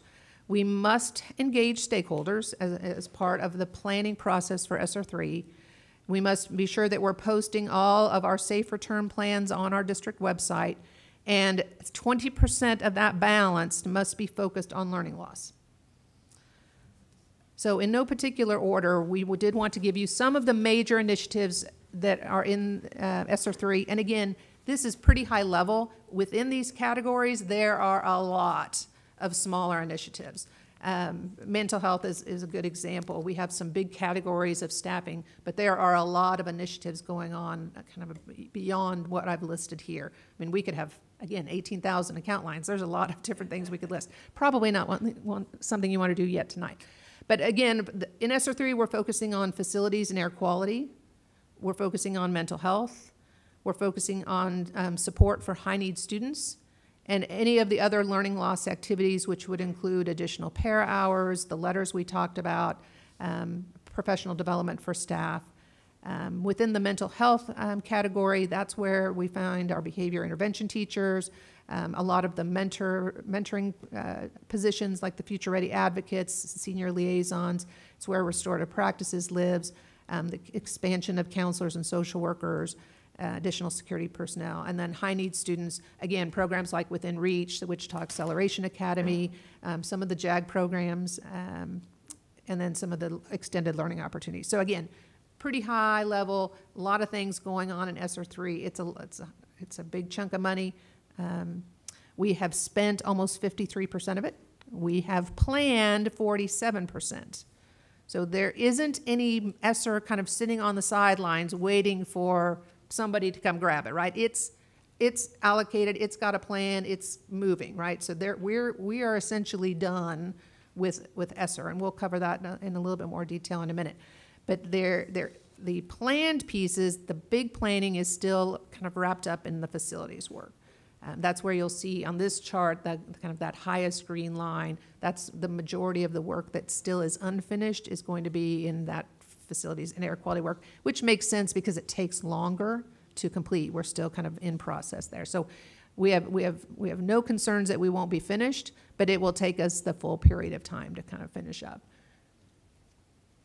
So kind of as we put that all in one kind of large graph, you see that on the right side, you've got the summer learning, all your after school and, and support programs, and all of those other learning loss um, initiatives that we just talked about.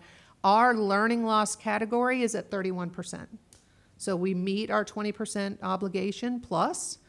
Um, 30% is in wrapped up in facilities and air quality work, which we feel really good about because that's long lasting, right? That should pay dividends for years to come. And then the rest of it is kind of spread over, again, more retention work through bonuses, maintaining operations, technology, some support for high, uh, the high need students, and the mental health. So a lot of things are happening in ESSER 3. I think it's a pretty good breakdown of, of the, uh, across the gamut of needs across the district. Not that we met everyone's needs, right? Sometimes we had, did have to say no, although we said yes a lot. Um, probably more than we've said in seven years. Um, so that will be kind of a hard habit to break as we get towards the end of ESSERs. We'll have to get back into, well, we can do that. We just have to do something else. What are we not going to do, right? um, okay, so we talked about the, the, the, the, the 20% goal. How did we do on the engagement? So the ESSER 3 engagement work started with a survey in the spring of 2021. We shared this with the board that the groups that, um, so that's parent, student, community, and staff all responded. Um, the three top priorities at that point, um, activities to address the unique needs of, of, of kind of our high needs groups, mental health services and supports, and providing principals and school leaders what they needed. And so I think we met, for the most part, most of those goals. Um, in addition to that, that initial engagement work, we formed an ESSER Financial Advisory Committee and we had stakeholders representing foster care, special education, Native American, um, English language learners, juvenile detention, um, the NAACP, City Council, a whole lot of kind of varied, varied stakeholders to give input on what we were doing, what else could we do. Um, and we, we had a few meetings, we did a few emails back and forth, so we think we, we engaged um, you know, fairly well. Again, not, not necessarily perfect, um, because there's still a lot, there was still a lot of moving pieces, but I think we did, we did invite that engagement. We invited our UTW partners to engage, um, our SEIU partners to engage. We did a second survey in May of '22 to parents, staff, students, and community, and we will do a third survey um, here, uh, hopefully sometime in the next couple weeks, to that same group. In addition to our website engagement opportunities, there is a link on the website that anyone at any time can provide feedback to, to what we're doing and how we're doing it, and then obviously through our various social media channels. So um, I think we did pretty good, pretty well through that whole process.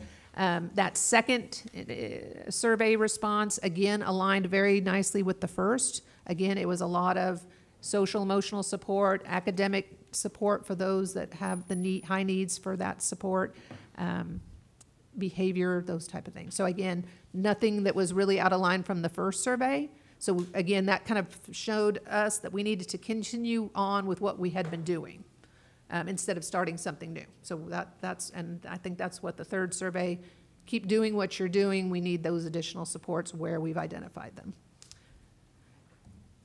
And then we do have the USD259.org slash ESSER that does have our safety and operational plans. They really haven't changed since the beginning of the school year. Nothing has, nothing's really been modified there.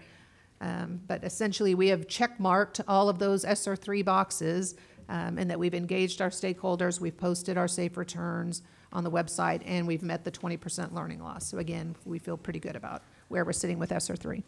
I am going to add in at this time, she does not have it on here, but um, I was waiting for her to say it, but there's videos actually also that talk about the spending that has happened over the time um, that we've had our ESSER dollars that we've sent out to staff and whomever else would like to look at them because we want to be very transparent about the dollars that we have been given and um, the success that the board, I mean, you know, that you all have asked, allowed us to be able to spend those things, but we want to be accountable to you as well as sharing with our community um, what we've used those funds for and the impact that um, has happened because of those things. So again, I'm going to encourage the community because across the state, you know, there's a lot of talk about these ESSER dollars and what people are spending them on, and we're trying to do our best to ensure that everybody has access to what we have access to and that we're sharing the story of the ESSER dollars and what's happening and the impact that the dollars are having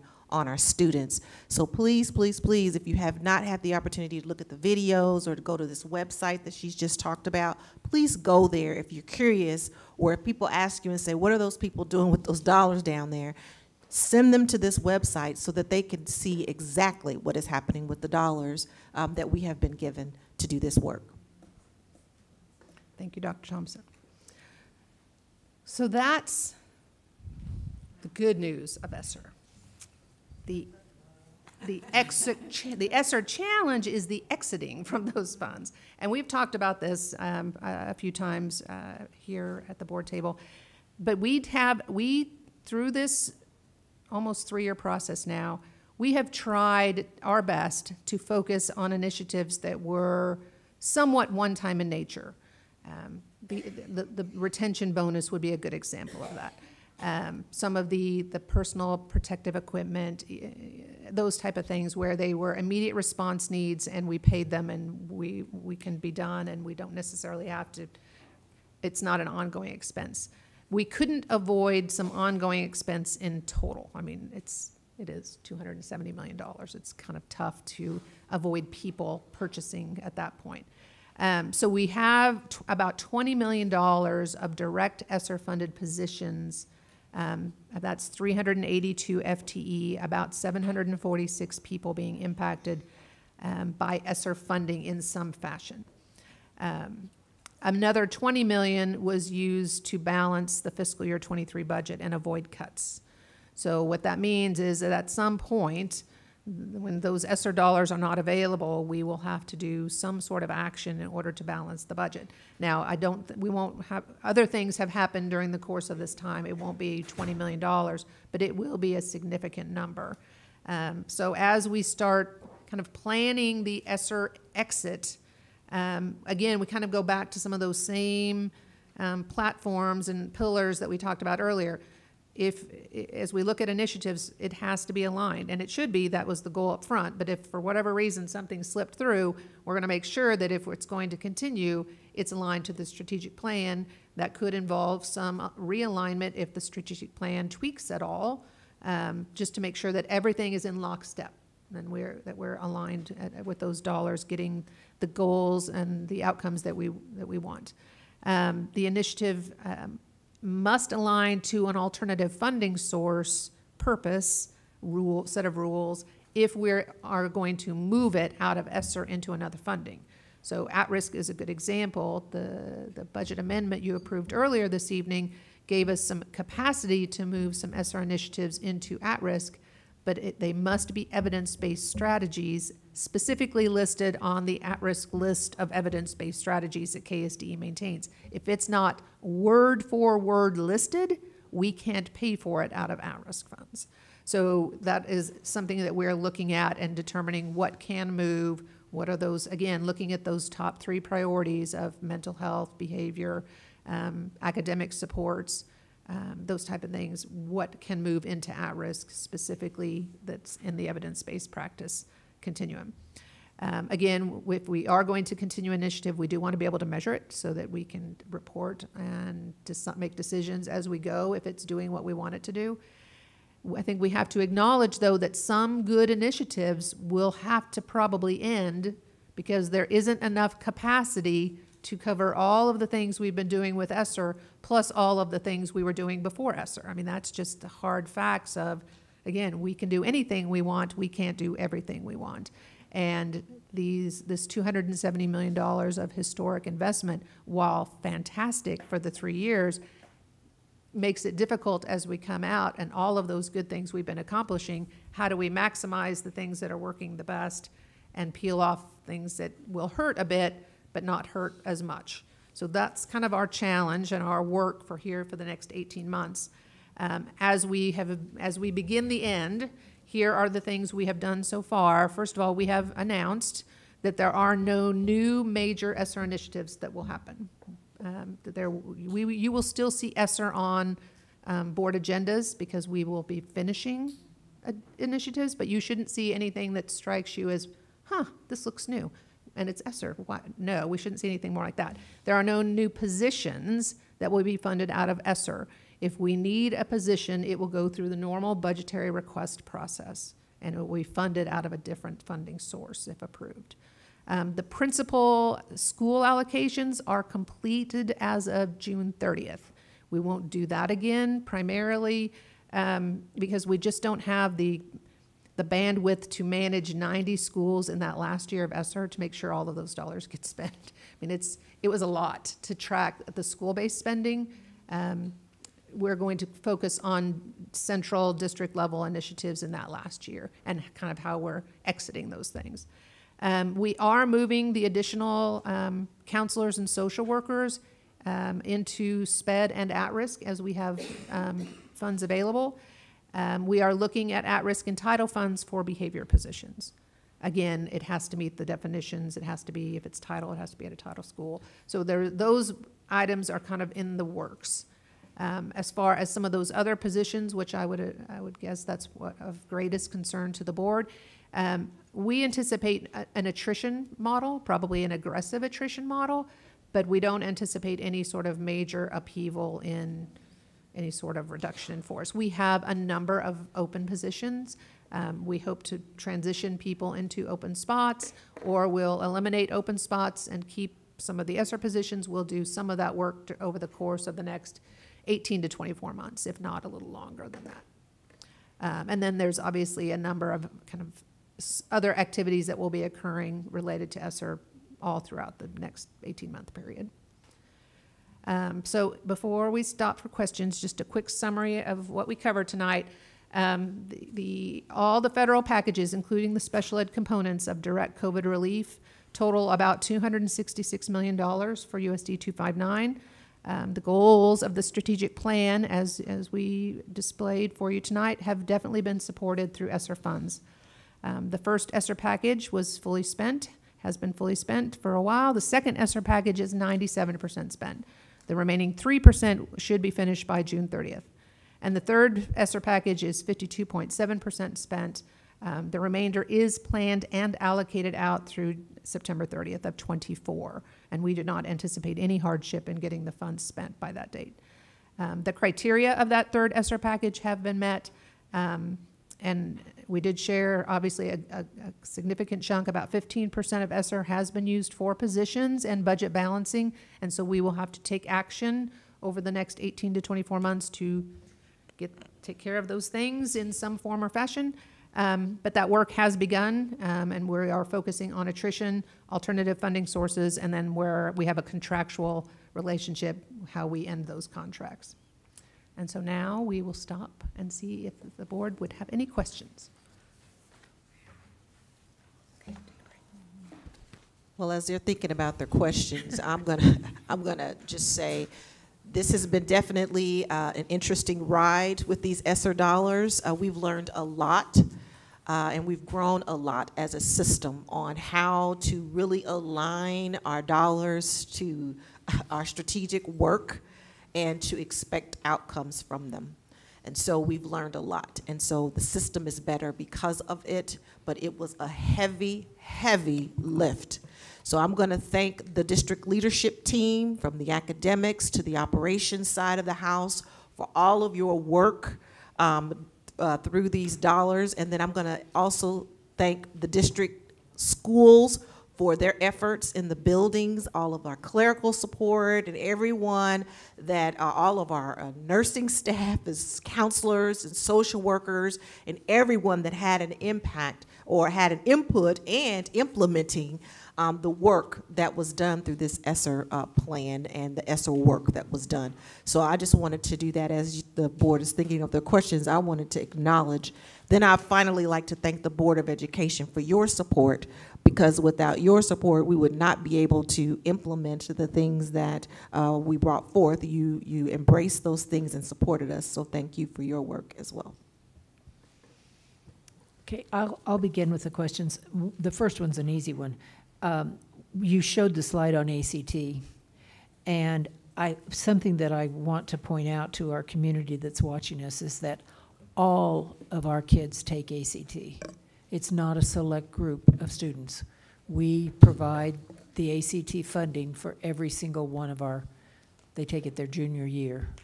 Um, and all of our students, even the ones that aren't planning to go on to college, still take the ACT. So our scores, I'm really pleased with our scores. If we just handpicked the kids that were going to college, they'd look different. But I want to know what all of our kids can do, and this shows us that. I also want to commend you on the work that you're doing to look at what we do in the future when this money goes away, because 18 months is going to go by really fast. and the fact that we're starting to look at positions, hold positions, uh, you know, when I saw the number of people, this is the first time I've actually seen the number of people that are involved in, in ESSER funding, and it was 700 and some, I've lost the slide. But but, thank you. Um, It, 746 people, and that's 382 FTEs. That's more than some school districts have in their whole district. Correct. And so we, we have to do this work. It's critical, and I'm very, very pleased that Dr. Thompson, her team, you all are, are looking very carefully at how do we not have to go into a major reduction of force because that hurts us all. So we really want to plan ahead, and you're doing that. So I just wanted to put a kudo and thank you very much. Diane? For the presentation tonight. Um, my question's on slide six with the third grade reading proficiency. And I guess it's really not a question, but it's about the LETRS implementation and that the great impact that that's having, and we're seeing real results from that. And so that's something I think that has been a great, great addition that we've been able to implement through the COVID process. But I think that was already starting before COVID. So, um, so thank you for that initiative, Dr. Thompson, and and thank you for including that on your on your slide, Susan, because that really does show um, things that are that are making a great and positive impact where they should be. And on slide number 27, beginning the ESSER exit, uh, one of the things that I just wanted to kind of point out is that there was a school-based budget for ESSER, and now we're going to more of a central-based budget for this, this last year with ESSER money. Is that correct? That's right. Okay. So just a slight change for some of the people um, within the district, but we're still, still moving forward on the expenditures. So thank you, very, very well thought out presentation and very concise for something that's so complicated and so, so big. So thank you very much. You guys did an excellent job. Ernestine? I have a question on, uh, I just didn't hear on slide 27. You said you're looking to at-risk and title funds for the behavior positions. Where would we get the at-risk and the title funds? Uh, At-risk is from the state, I presume. Well, thankfully, this evening, you all adopted a new budget that gave us some additional authority, um, a little over $8 million of additional at-risk funds that came to us this year because of the change in um, direct certifications for students that qualify for Medicaid. So we do have a little bit of wiggle room in the budget to start to shuffle some of these expenditures over to that existing budget. $8 million sounds like a lot of money. It disappears very quickly. Um, so at this time, we're really looking at those CST team members, so your counselors and social workers that we funded out of ESSER funds. And then we're kind of going to see what we have remaining um, once we get through the closure of this budget year, where ESSER dollars are falling out, to see what capacity there may be in um, at-risk funds with a combination of title to potentially pick up some of those larger behavior initiatives as well. Title funds are, that is not special ed funds. That is related to at-risk students. Title I funds and at-risk funds are given to us the same way based on low-income students, yes. Okay. Thank you. Okay, is that it? Uh, Kathy? Thank you. On slide seven, I think it is so encouraging to echo what these guys are saying, my, my colleagues over here, that the graduation rate this year is 80.4. I am so excited about that, that these structures that have been in place because of these funds that we didn't expect to get, and it really has begun to close the gap a little bit. Um, I am concerned that um, there's going to be a drop again because some of these structures might not be able to sustain themselves. So I'm hoping that through collaboration and dialogue with those that need to do that, we could perhaps combine some of these programs together so that we could keep these um, initiatives going for our students that might not be so fortunate to graduate like these guys are. This, this is so encouraging and so exciting for our, this has been an awesome evening for our district, and our district needed this. We needed the pom-poms. We, we needed the cheerleading going on. And okay, so this is something that we're looking forward to. We've got our eyes open. We know what we're dealing with, and we just need to prioritize just to get our kids across that stage to get their diploma. And I am so excited to see the creativity that administration is going to come up with to get this done. So thank you so much for, I didn't even need to take notes because you had it so so easy to understand, and you were very explicit in your explanation of everything. So thank you, ladies, very much. And, and I'm going to piggyback on you just a little bit, Ms. Bond, because our kids, when they graduate, they leave with market value assets. They don't just get across the stage, they leave with something that will help them to be successful moving forward. And that's the beauty of it. We just didn't want our numbers to be up there. That's great. But what are they leaving with? and what can they take with them to, to uh, become productive citizens in our community. And if I could echo that, uh, you're absolutely right. And I think that our community is not seeing that. And that's why I wanted to publicly say what an awesome year this has been. And I look forward to the next several school years to see what else we can do with the market skills that they're going to be having. I mean, this is just, I mean, we have two students in our district that are graduating Wichita State Tech and a high school at the same time you know, they're having a hard time deciding which one do I go to. So, I mean, this is amazing. This is just great. And we have kids that are graduating and going to make more money than some of us make. and they don't even have a high school, they don't have a college degree, but they have market value assets that will get them where they want to go.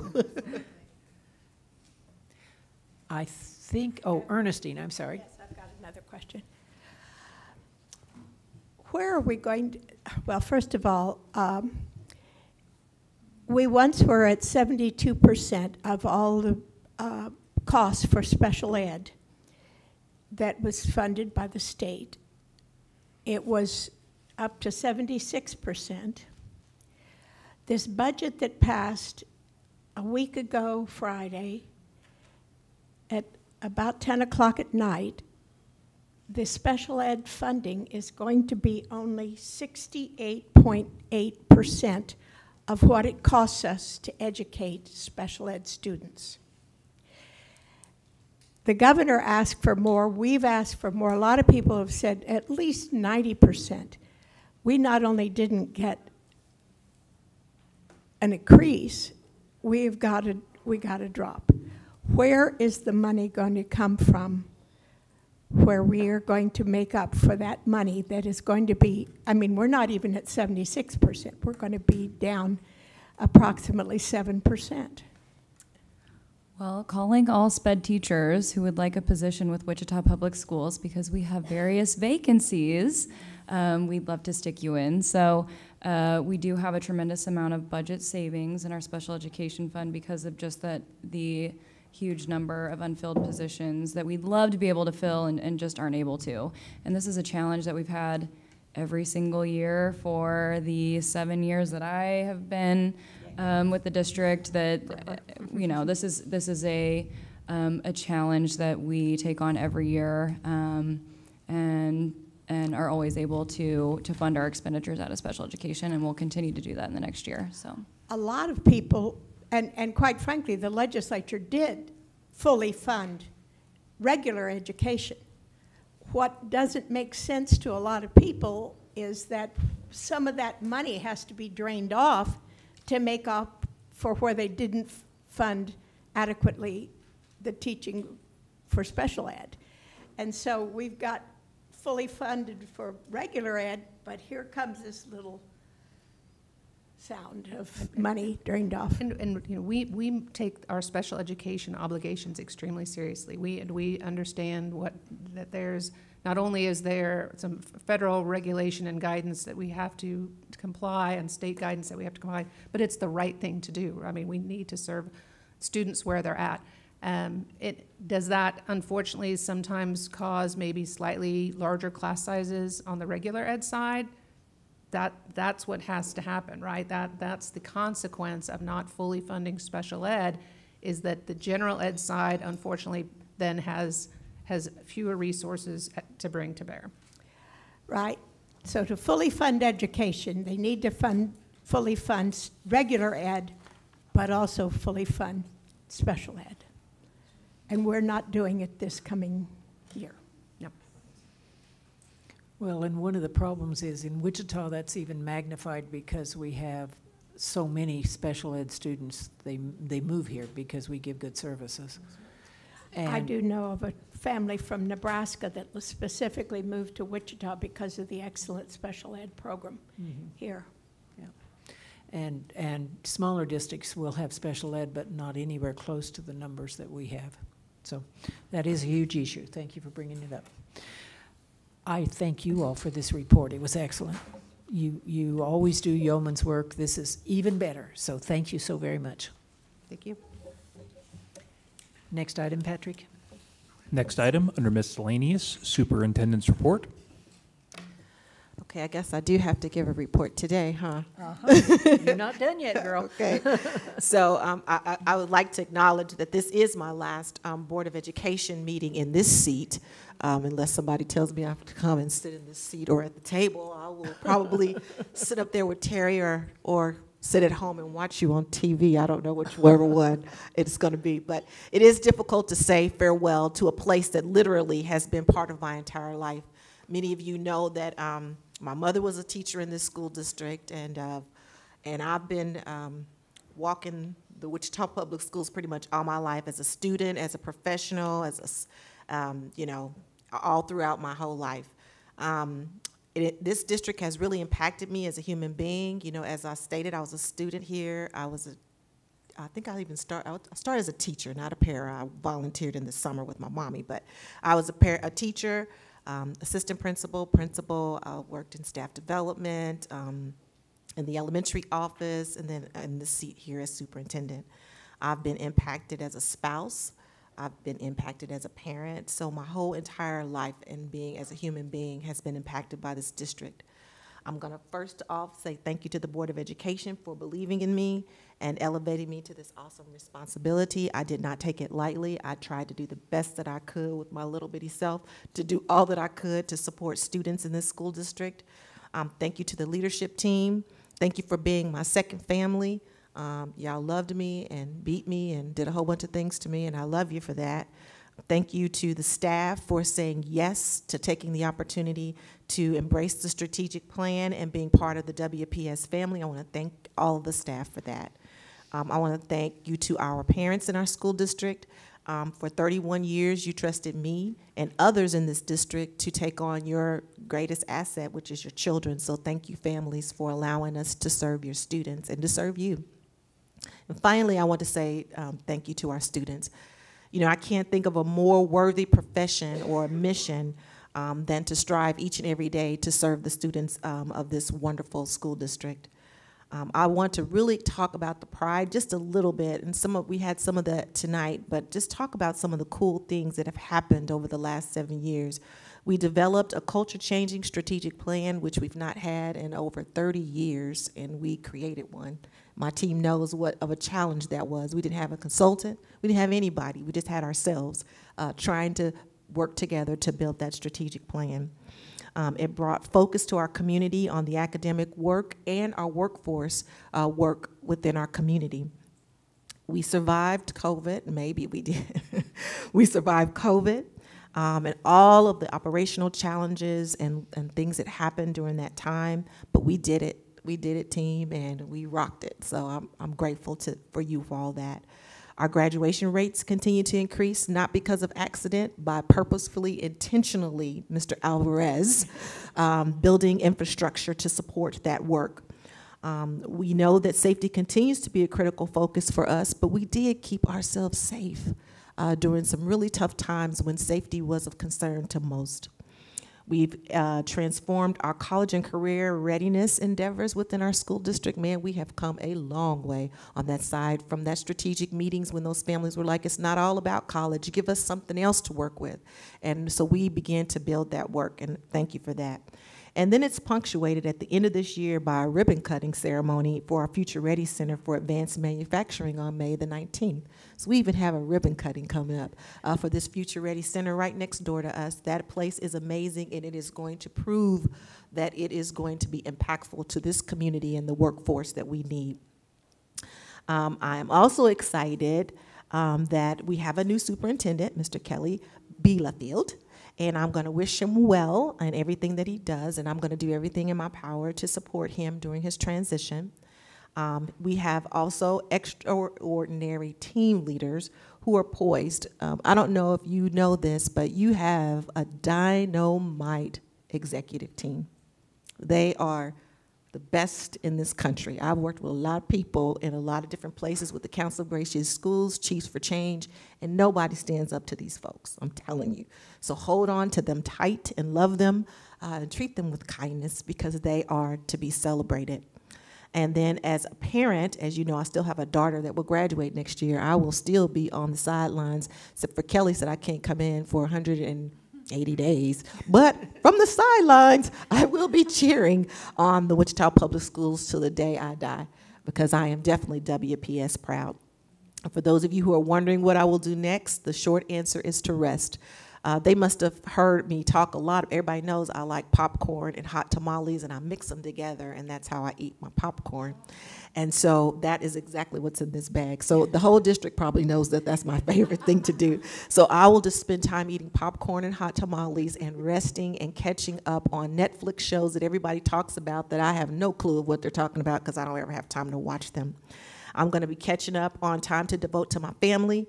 My parents are healthy, my family is healthy, and my daughter will be graduating soon. And I look forward to celebrating and spending time and being in their presence because I have been absent for quite a bit of time, but I'm going to give them that time. And I have, um, uh, of course, everybody is asking, yes, I have had a number of offers to go back to work, and I will consider what's next after I have the opportunity to rest and reflect. But believe me, it will not be full time. It will be part time or projects or board seats to sit on to serve in our community. Because again, that's what I was born to do, and that is to serve, and I will continue to do that in some kind of form or fashion. Uh, Levanta already is out there. She's nodding because she's they worrying me to death about doing some things, and I'm going to do them as soon as I eat popcorn and hot tamales. As you, that's it, Brad Bridgerton, and then there's a new one, and I'm going. to Once I catch up, then I'll call you Levanta. yeah, I love this community and I love this school district. Everybody knows that, and I love my family, um, which is all of you, and I can't wait to celebrate. Uh, as you guys continue to do great things for kids, because I already know you're poised and you're ready for, to take it to greater heights, right? So I love you all, and I thank you for everything, and I'm out.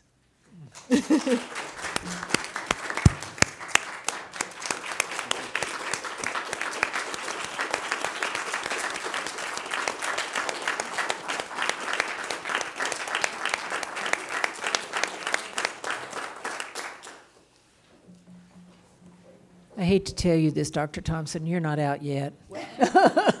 Okay, I, I forgot. I'm out on July 4th. Until then, all feet on the ground. We got graduations. I should Oh. speak to that. Uh, I'm telling, saying goodbye, but I'm going to talk about graduations. So we've started some graduations this week. Um, some of our sensory graduations, I've been participating in those. Those have been great. Um, and then we are moving into next week where we'll start a full comprehensive groups of, of, of, of graduations. Our feet will hurt. Uh, make sure you schedule your manicure, your pedicures anyway, afterwards. And Stan, you can get one too. um, and so make sure you'll be ready for those graduations. Wear comfy shoes. Don't try to wear your cute shoes, Miss Bond. You got to wear some comfy shoes to stand for long periods of time. So we'll be able to finish out our graduations. There's some fifth grade graduations coming up, and some all kinds of activities coming up. We got our uh, grad, um, our our um, Botanica for our longevity and retirement that I don't have. Um, it's on. The, well, yeah. And then we will have our employees. Thank you for all of our employees uh, for their service at the year-end event at the Sedgwick County Zoo. So we have so many more things to do, and I have so much more work to do uh, until July 4th. And we will see you all at all of those activities um, to celebrate the end of the year and to culminate all of our kids, 2,000 and something of them, whatever Amanda said, walking across that stage. And that's why we do what we do, and we'll be excited to receive those students. So uh, I now I end my report. Thank you for the, let me do the addition. Okay, um, next item. Next item, Board of Education report and requests. Kathy? It's been a busy month. It's been a very busy month. Um, I typed it out. Okay, I attended the Stealth Night at Exploration Place. A phenomenal evening. Those those people did a wonderful job putting that together. I attended the JROTC National Award wearing two hats, that of the Board of Education and my DAR. I attended the Super Super SAC at the Windsurge Stadium that these students were talking about. Very impressed, very impressed with the things that they that they offered um, and the ideas. I really hope that this board can implement some of their ideas because it not only shows that we listened, but it shows that you know we need to. They know what's going on in the schools. We're not in that building every day. Um, I attended Wilbur um, Tim Elston's for Excellence at the zoo, and it was just really an exciting thing to see him. And, and uh, just a little side note, um, I saw a lady there that used to work with my father, and it was actually Tim's aunt. So that was just really kind of a neat, it's a small world, and the older we get, the smaller it gets. I attended the Cloud Elementary for reading, which was very impressive to see all of those books that are given out to our students. Um, I substitute, I, I sub in Derby, and I've been subbing very frequently lately. And every chance those kids get to read, they want to read. They'd prefer to read than go on their Chrome, their Chromebook. So I was happy to see that.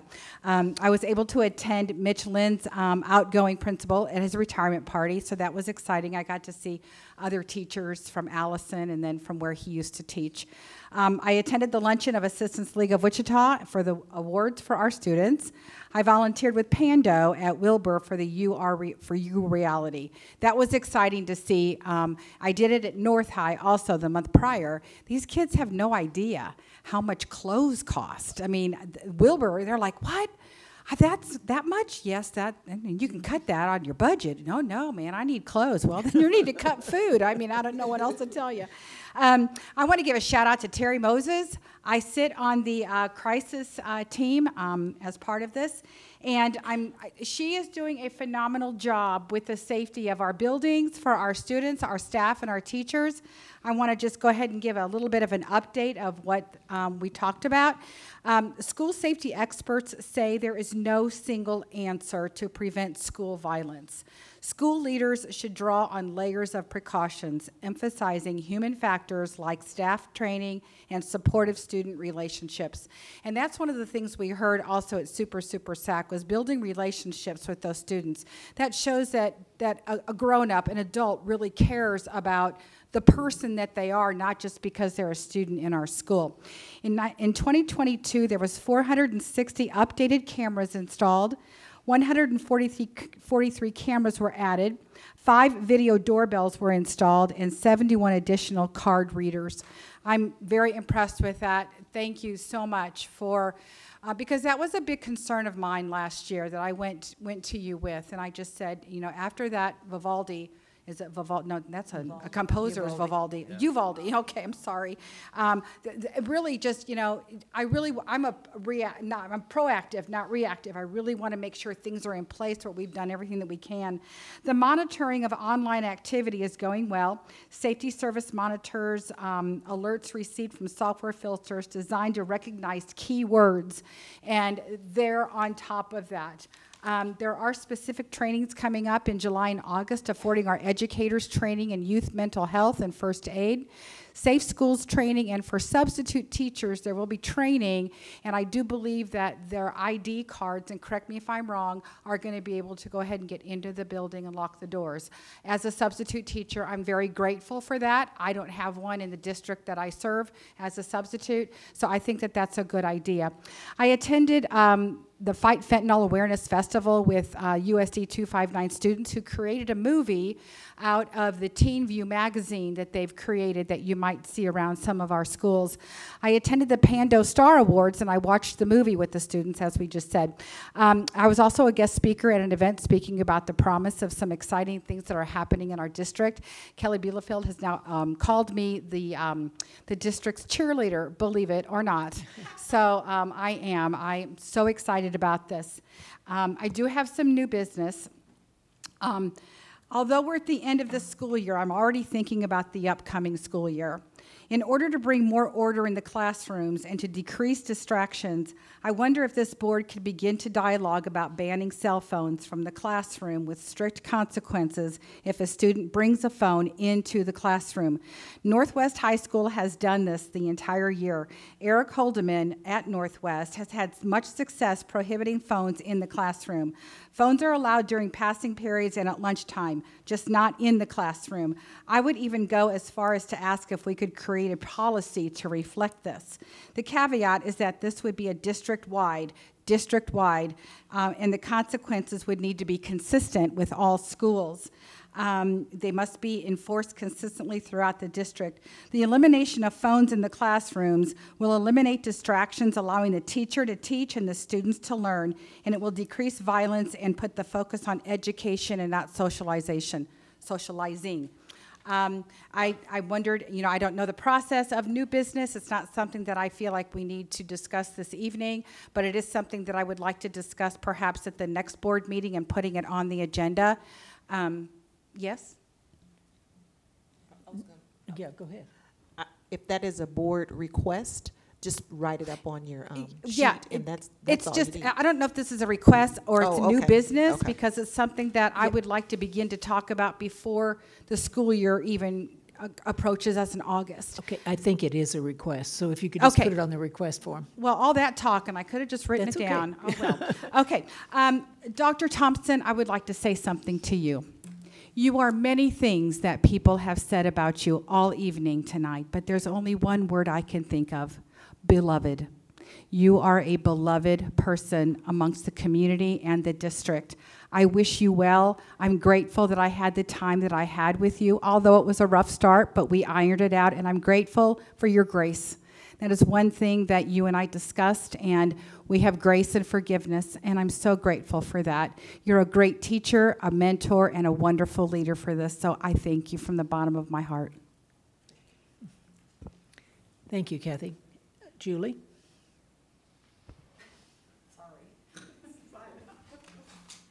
Um, This, uh, I think, what we've experienced tonight, other than the fact that it's Dr. Thompson's last night, that, that part was not good. But all of the, but all of the, all of the scholarships and um, seeing our kids and the awards of our schools, that, this piece that we're experiencing tonight and then graduations is the absolute best part of being a board member. and um, we, um, though these things that we've experienced tonight and the graduation ceremonies that we get to, to be a part of just absolutely make us WPS proud. Um, I've been a part of this school district for a long time too, just like Dr. Thompson and Sheril Logan, and I love this district and I am so proud of it. And I'm so excited for the graduation ceremonies coming up, and it was so great that our kids have received so many scholarship dollars and have their assets when they graduate. And um, I echo also that um, I've loved working with you, Dr. Thompson, and I'm sorry to see you go, but I am uh, thankful for the service that you've had in this district. So, Diane? Well, Julie, I'm going to say some of the things that you were at with with us as well, and just different activities that we do each month. And so, uh, I also attended the JROTC National Awards Ceremony, where more than 200 awards were presented, and there was also a change of command for the district core staff. And those students serve the JROTC students um, at a district level across all the different schools and the leadership programs in the middle schools. I also attended Super Super SAC, uh, where you, we broke up the students into smaller groups to discuss different topics as they presented to us tonight. And so I sat in on, on one of those groups to just hear their thoughts and process on different things. Um, I also attended the Reading Opens the World Family Literacy and Book Fair at Cloud Elementary, and Julie was there as well. And we also heard a roundtable discussion that included parents, educators, and administrators to talk about their collaborative effort to spread the joy of reading and how to empower parents with tips and tools to support their students and their education. And so it was a very heartfelt moment when you listened to one mom that talked about uh, the excitement that her little son was showing in reading and how he wanted to go to the library more often, and that was influencing his younger siblings as well. Um, I was greatly honored to attend the Wichita Business, Business Journal's 40 Under 40 to celebrate our clerk of the board, Patrick Green. And so I.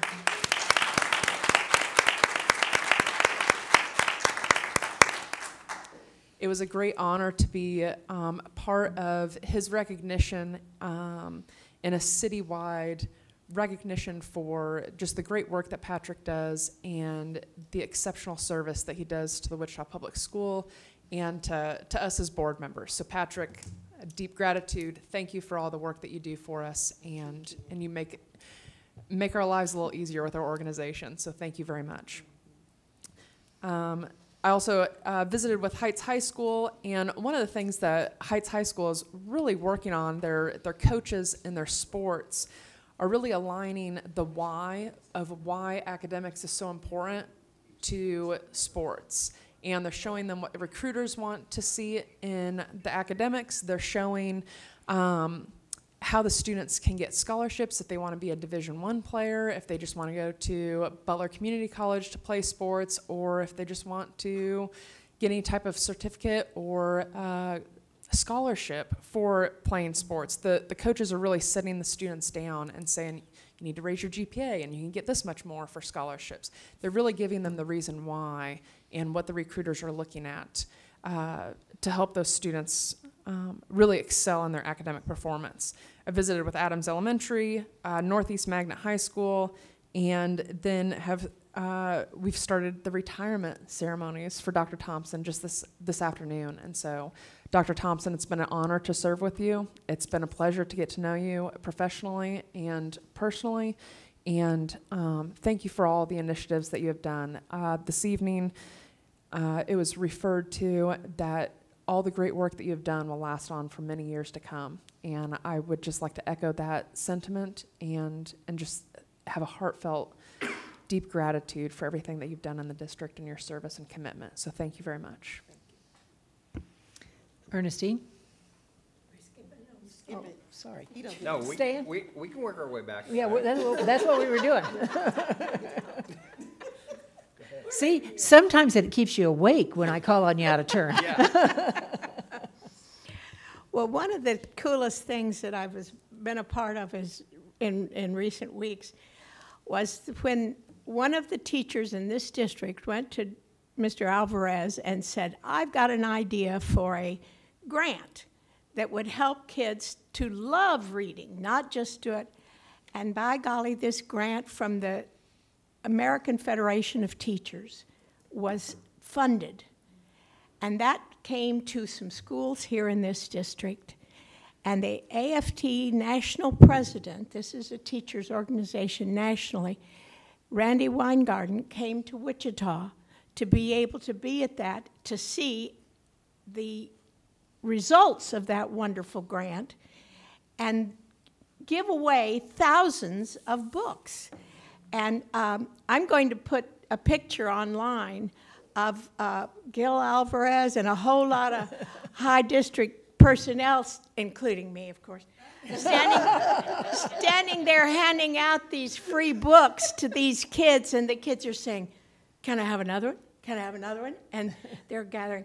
They had books that were in Spanish as well as in English. This was uh, the schools involved were Pleasant Valley and Cloud and what? Ortiz.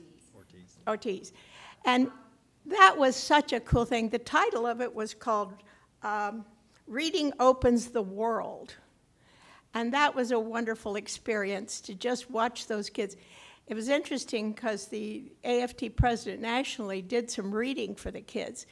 And I don't think I'll get to put this picture on online because I don't have the kids' parents' permission to put the, but to have the kids just with their mouths open as they're just listening to these stories. It was just a wonderful experience. Um, I have also attended the Assistance League scholarship thing. What a kick that was. And I, they put each of the school board members at different tables, so we got to be with different kids around the room, and that was so what. And this young man that was at my table was one of the ones tonight that was up here, and he kind of winked at me, and we shook hands. we kind of shook hands, like, yeah, we know one another over here. But it's so wonderful to see these kids uh, in that circumstance, and, and so many of them have, have come from situations where this was not, where going to college or even going to WSU Tech was not really in a possibility. So that was kind of cool. I want to share with you that some recent national tests and national stats have come out. Less than 50% of all adults in the United States can say who, what the three branches, equal branches of our federal government are. That's the adults. But I'll tell you something else that was on the news this week. Only 22% of our eighth graders could be eighth grade proficient in U.S. history. What is worse, only 13% of eighth graders were proficient, just proficient, in understanding civics. Way back when I first started on this board, I started to talk about we needed to have more civics in our schools, all the way from K through 12. And we got COVID in there, and that sort of wiped out any kind of, we were just barely holding on for a while. But I really, and by the way, I have already spoken to Mr. Bielefeld about this. but it really, we have got to take serious. The whole purpose of tax money supporting public education is so that we will have an educated electorate and to have less than 50% of the adults. The other thing I want to point out is we are so excited, and I am thrilled that we have moved from 70%, less than 70% graduation, to 80% graduation. But think about this that still leaves 20% who drop out before they hit the senior year. In our system, as we have it, government is taught in the senior year. That means 20% of our students never learn government. Now, that doesn't account for how come that more than 50% of our adults can't even say the legislative, judicial, and executive branches of the federal government. You notice I didn't ask you guys to name them, raise your hands. That you think it'd be 99% Stan says. Okay, okay. But anyway, I, I just really, and I'm, I'm not putting this down as one of my little paper things because I want to just give Mr. Bielefeld a chance to get his feet on the ground. But I want to ask the rest of my colleagues here to, for us to begin to think of a way that we can put civics in even, where, where's Rod? Rob? We could make computer games with civics, for gosh sakes, and kids could learn it that way. Um, one of the ideas that I've had the approval from the principal at um, Gordon Parks is having some kids create videos that teach.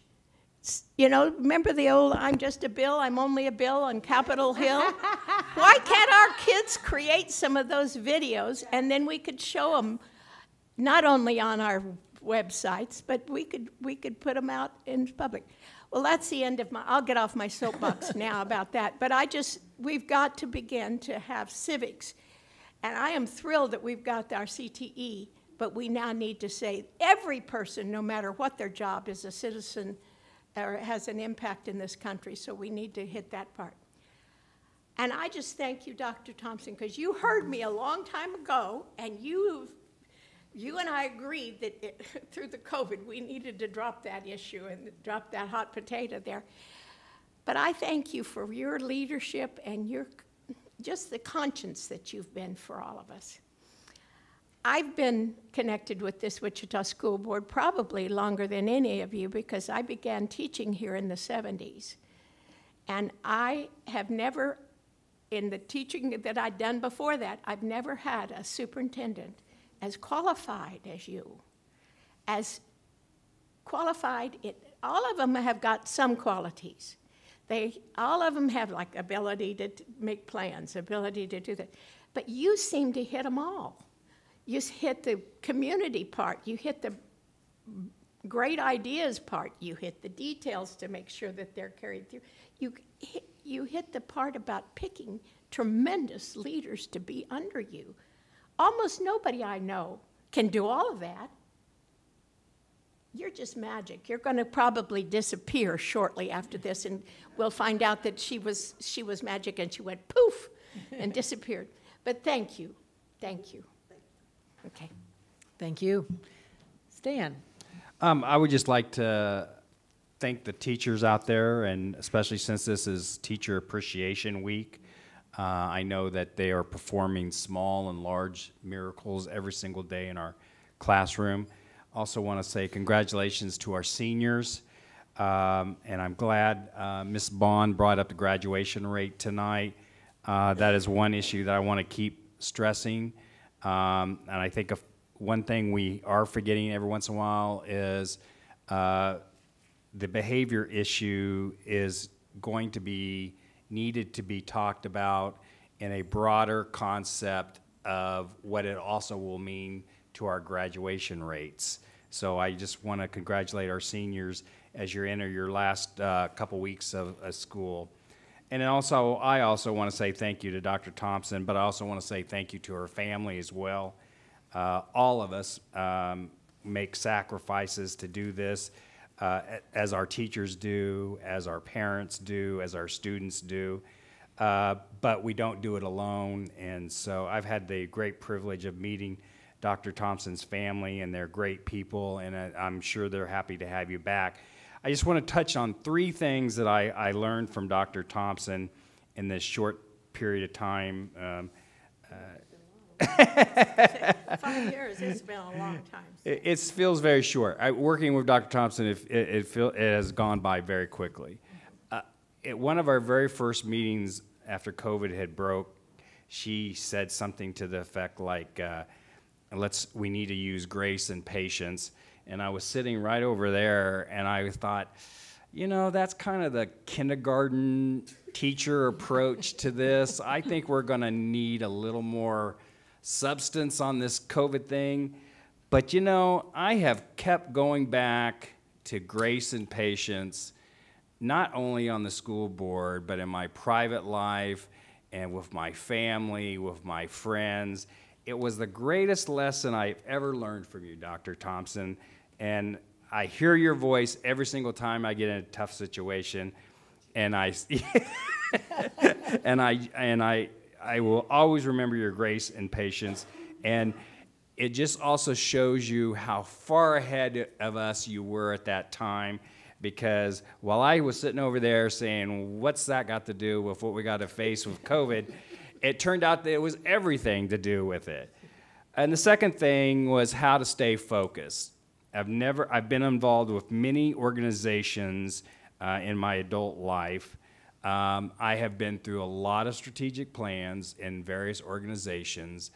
I have never been in an organization or a private business that really stayed focused on once they made a commitment to a plan. And you were our leader on that, and you made it easy. And I think that's another thing I'm going to keep taking away from you is when the storms come, and I think Kelly, this, this will be great advice for Kelly. When the storms come, it, the key is to keep your Dr. Thompson focus. And so that's what I hope to do, continue to. And the, and the last one is um, hang on a second.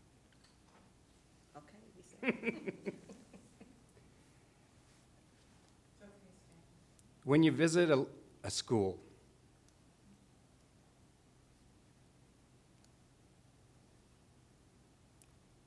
when you visit a school of Dr. Thompson and you see the little girls look at Dr. Thompson and they see their potential, that, that has been the greatest uh, highlight of my career so far. And I apologize for crying. but I, maybe it's because I was a father, uh, father of three girls, but I think we sometimes forget how important diversity is. And when people see somebody that looks like them, it can mean the world. And so I will never forget those looks. Sorry. Sorry, so emotional. Thank you, Sheril. You never apologize for that. That, that is, that is so true, my goodness. Wow, how do I top all of this, folks? I, I've been at many of the events that they've all talked about, so I'm not going to go through them again. I, I think there is a couple of things, though, that I want to highlight, and that is I had the pleasure of being at our KESA accreditation meeting. It was a full day, and the team presented at that meeting, and they, the team was there to kind of give us suggestions and help on what we continue to do to get, get better. And, and they did that. They were a great team. But I walked away thinking, oh my gosh, this district is so moving in the right direction. And I think the chart that we saw in the, the budget hearing piece shows that. We're making percentages of growth every year with our kids. And whether that's graduation rate, whether that's third grade reading scores, any of our formative assessments, we're moving in the right direction. And I give you and your team a lot of praise for that because that didn't happen by accident, folks. And, and we've got to keep moving because we're doing the right thing for kids. And as I think about going into the graduation season, and I am the, going to be the proud grandmother of three seniors who graduate this year. And, and I'll get to be on the stage with two of them, and I'll probably cry. My, my, one of my No. grandsons told me very clearly, Grandma, you may not hug me on stage. so I won't. but I'll hug him at home because, and, uh, you know, our kids are proud of themselves. I, I'm seeing that personally with, with my grandchildren. They know that this is the first step of a lot of other big steps that they're going to take in their lives. And I give so much praise to this district to bringing these kids along and getting them to graduate. Um, you know, our teachers, Teacher Appreciation Week is never enough, but thank you, teachers. We could not do it without you. We could not do it without you. You're great people, and you serve our students extremely well. Um, Dr. Thompson, I, I have said this before. I'm old, and actually, I started teaching in the Wichita District in 1969. That's when I was. It was, it was, that, oh, yeah. Dr. Thompson, you could have said a lot of things other than that. You weren't whispering, the crowd heard you. She said, that's when I was born. Um, uh, You know, I, I started with Al Moore's and have been through and with a lot of superintendents since then. Some who stayed a long time, some who stayed a very, very short time. Your time wasn't anywhere close to long enough. You are by far the best superintendent I've ever worked with.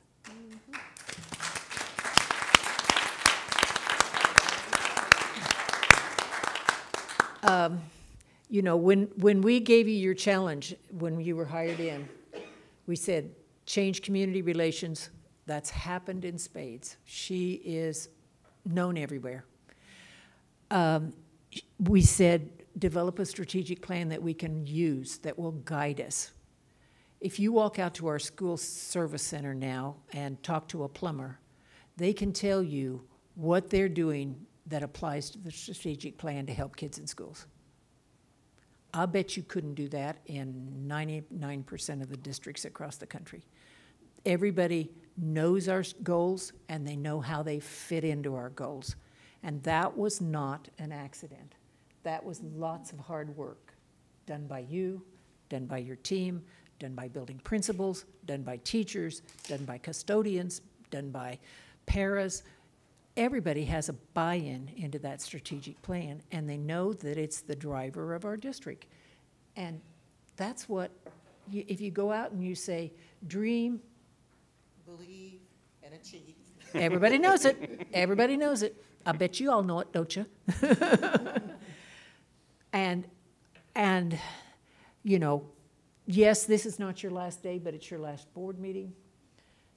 And I just, from the bottom of my heart, thank you for everything that you've given and how much stronger this district is now than it was when you came here. And I don't know how, thank you isn't enough, but it's all we can say right now, and we appreciate you greatly, and we will miss you greatly. You have the right to respond if you want to. Then you would cry. Okay, next item. Next item, new business. Since we had Kathy do hers on a request, I don't see any other new business. Next item. Next item, executive session. Diane? I move the board recess into executive session to discuss pending negotiations between the Board of Education and the United Teachers of Wichita pursuant to the employer-employee negotiations exception under the Kansas Open Meetings Act. And the meeting will resume in this room at approximately 9:15. Second. Okay, the motion was made by Diane to go to executive session and seconded by Stan. Please cast your votes.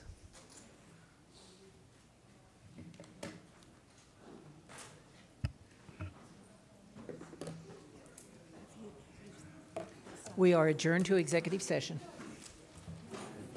Motion passed six zero.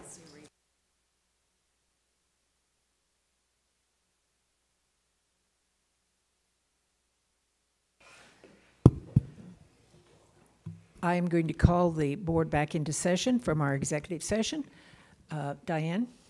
I move that the board recess into an executive session to discuss pending negotiations between the Board of Education and the United Teachers of Wichita pursuant to the employer-employee negotiations exception under the Kansas Open Meetings Act, and the open meeting will be extended and resume in this room at, what did we say? 9:45. Nine forty-five. I second. Was moved by Diane, or motion was made by Diane and seconded by Kathy. Please cast your vote. Sorry.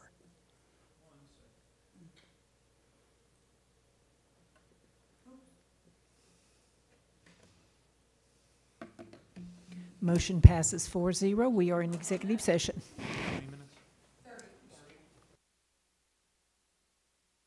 The meeting back to order. We are coming back from executive session. Diane? I move that the board recess into executive session to discuss with the board's legal counsel a matter which the board is a party pursuant to the exception for the matters which would be deemed privilege in the attorney-client relationship under the Kansas Open Meetings Act. And the open meeting will resume in this room at ten oh five. I second. Okay, and motion was made by Di- by Diane to move to executive session, seconded by Kathy.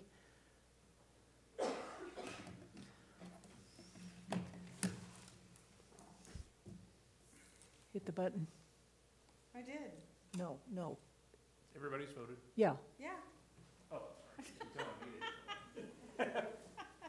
Motion passes 4-0. We are in executive session. You.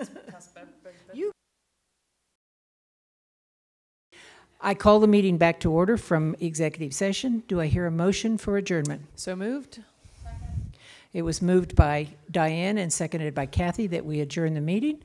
All those in favor, favor, raise your hand. Motion passes 4-0. Thank you. We will see you at our next board meeting.